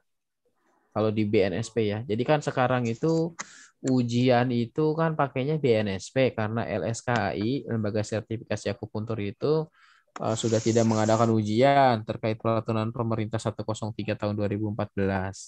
Ya, tetapi kalau Bapak Ibu paham ini, itu ujian BNSP itu mudah ya. Gitu. Oh, iya, saya. Nah, nanti Eh, di sini Bapak Ibu nanti ada ujian praktek kan ya. Nah, ujian praktek nanti hmm, Oh iya, di sini nanti kan ada ujian akhir semester kalau nggak salah yang para Bu Titi bilang ke saya itu tanggal 12. Itu mungkin nanti saya share ini hari Sabtu ya. Mungkin saya share hari Senin. Bapak Ibu boleh tuh ngerjain satu minggu lah, mulai dari hari Senin sampai hari Sabtu. Ya, jadi hari Sabtu eh, jam 20 4.00 harus sudah selesai. Jadi nanti hari Minggu pagi tuh saya, saya, saya cek ya nilainya berapa berapa. Mungkin hari Senin nanti saya kasih linknya di nanti saya kirim ke Bu Titi atau ke Bu Sumiati nanti tinggal Bapak Ibu lihat ya. Sementara ini soalnya udah ada 40 yang saya bikin. Mungkin uh, tambah 10 lagi atau 20 lagi atau uh, 60 atau 50 tapi kemungkinan 50 ya biar skornya gampang 100 gitu. Jangan banyak-banyak sih. Iya 50 aja deh. Ya kan ngerjainnya juga seminggu. Nanti uh, kalau nggak salah ada ujian lagi tanggal 19 apa ya? Ujian kop tradisional. Ah, itu nanti isi ini ya, isi lembar statusnya kayak begini. Nanti tapi aku puntur, kemudian kira-kira uh, kalau di kop metode kopnya bagaimana gitu aja. Nanti sekalian aja bareng ya seperti itu. Nanti saya infokan juga kemudian nanti saya informasikan ke Bu Titi dan Bu Sumiati tentang ujian. Ya seperti itu. Nanti eh, pasiennya bebas ya dari bapak ibu. Eh, keluhannya juga bebas terserah. Nanti saya akan lihat aja kesesuaian antara penyakit kemudian keadaan lidahnya, keadaan nadinya, ya, kemudian keadaan keluhan umum dan keluhan khususnya, sama nanti metode pembelian titiknya. Itu aja sih. Kalau sen, kemudian kalau sen apa segala macam bau itu kan eh, agak standar ya. Itu biasanya di itu di hal-hal umum, hal-hal khusus ya yang jadi sorotan dari penguji itu. Kemudian sama di keadaan daripada lidah ya, kemudian nadi dan nanti di pemilihan titiknya begitu. Itu nanti satu paket aja lah ujiannya antara akupuntur sama kop karena ini kan nanti ada ujian praktik kop tradisional tanggal 19. Ya mungkin begitu ya Bapak Ibu. Hmm, ditunggu nanti hari Senin mungkin sekitar pagi-pagi lah saya kirimin nanti saya informasiin. Uh, boleh dikerjain satu minggu ya boleh lah gitu karena saya buat soalnya juga cukup ini ya cukup eh, ya istilahnya nggak susah-susah amat ya nggak susah ya, tapi nggak gampang-gampang banget ya juga nggak gampang gitu. Jadi mungkin Bapak Ibu perlu berpikir ya saya berharap dengan Bapak Ibu buka buku ya kemudian berpikir itu ya akan ada eh, hasil yang lebih baik begitu. Nanti ketika praktek tuh ingat oh ini kemarin begini gitu. Jadi kalau soalnya gampang misalnya apa titikmu depannya ginjal udah gampang banget udah GB25 gitu kan. Nah, itu nanti agak di dikit lah grade-nya dinaikin. Jadi ada dua kali proses berpikir gitu supaya uh, agak berkesan ya. Seperti itu. Mungkin itu ya yang bisa saya sampaikan. Kalau nggak ada pertanyaan lagi, saya kembalikan ke Pak Asep. Ya, terima kasih Pak. Uh, saya kira sudah cukup ya Pak para peserta didik ya, yang saya banggakan. Uh, waktu juga sudah menunjukkan kita udah nggak terasa udah dua jam setengah kita mengikuti kegiatan ini saya ucapkan terima kasih pada Sinse Asmubar dan saya sampaikan, saya perlu ketahui juga oleh para peserta didik yang hadir pada malam hari ini bahwa dosen kita Sinse Asmuni Kimbarit selain dosen beliau juga uh, litbang di Polpro akti ini. Jadi uh, banyak uh, melibatkan beliau untuk uh, pembuatan buku terus uh, soal-soal dan sebagainya. Karena uh, beliau sebagai litbang mudah-mudahan uh, beliau selalu diberikan kesehatan melaksanakan kegiatan ini. Dan juga uh, materi yang tadi disampaikan tadi memang sangat bermanfaat sekali bagi kita semua bahwa mungkin kalau seperti uh, standar kelulusan lah kalau kita mengikuti uji kompetensi baik uh, lembaga sertifikasi kompetensi dilaksanakan oleh Dinas Pendidikan Kementerian Pendidikan maupun uh, eh, LSP Badan Sertifikasi Profesi. Jadi barangkali itu Bapak dan Ibu peserta didik yang uh, saya banggakan. Semoga Bapak-Bapak dan Ibu-Ibu bisa melaksanakan atau ujian semua dengan tingkat kelulusan atau yang baik. Mudah-mudahan uh, semua lulus dan uh, kompeten uh, di bidang. Baik Bapak dan Ibu, sebelum kita tutup, marilah kita berdoa. Dan sekali lagi, selamat Bapak dan Ibu untuk besok uh, libur, istirahat. Dan kita berdoa. Bismillahirrahmanirrahim. Rabbana hablana min azwajina wa dzurriyyatina qurrata ayun waj'alna lil muttaqina imamah. Rabbana faghfir lana junubana wa kafir anna sayatina wa tawammana ma'al abrar. Rabbana wa atina ma wa atana rusulika wa la tujina yawmal qiyamah innaka la tuhibbul mi'ad Rabbana atina fid dunya hasanah wa fil akhirati hasanah wa qina adzabannar. Billahi bisabilil haq wastabiqul khairat. Assalamualaikum warahmatullahi Terima kasih. Terima kasih Sinse. Waalaikumsalam. Terima kasih Bapak Ibu. Terima kasih Pak Asep. Sama ya. Pak. Terima kasih. Semoga apa yang kita pelajari bisa bermanfaat ya baik di dalam praktek sehari-hari. Ya. Amin. Amin. Amin. Amin. Terima kasih Sama-sama Bu.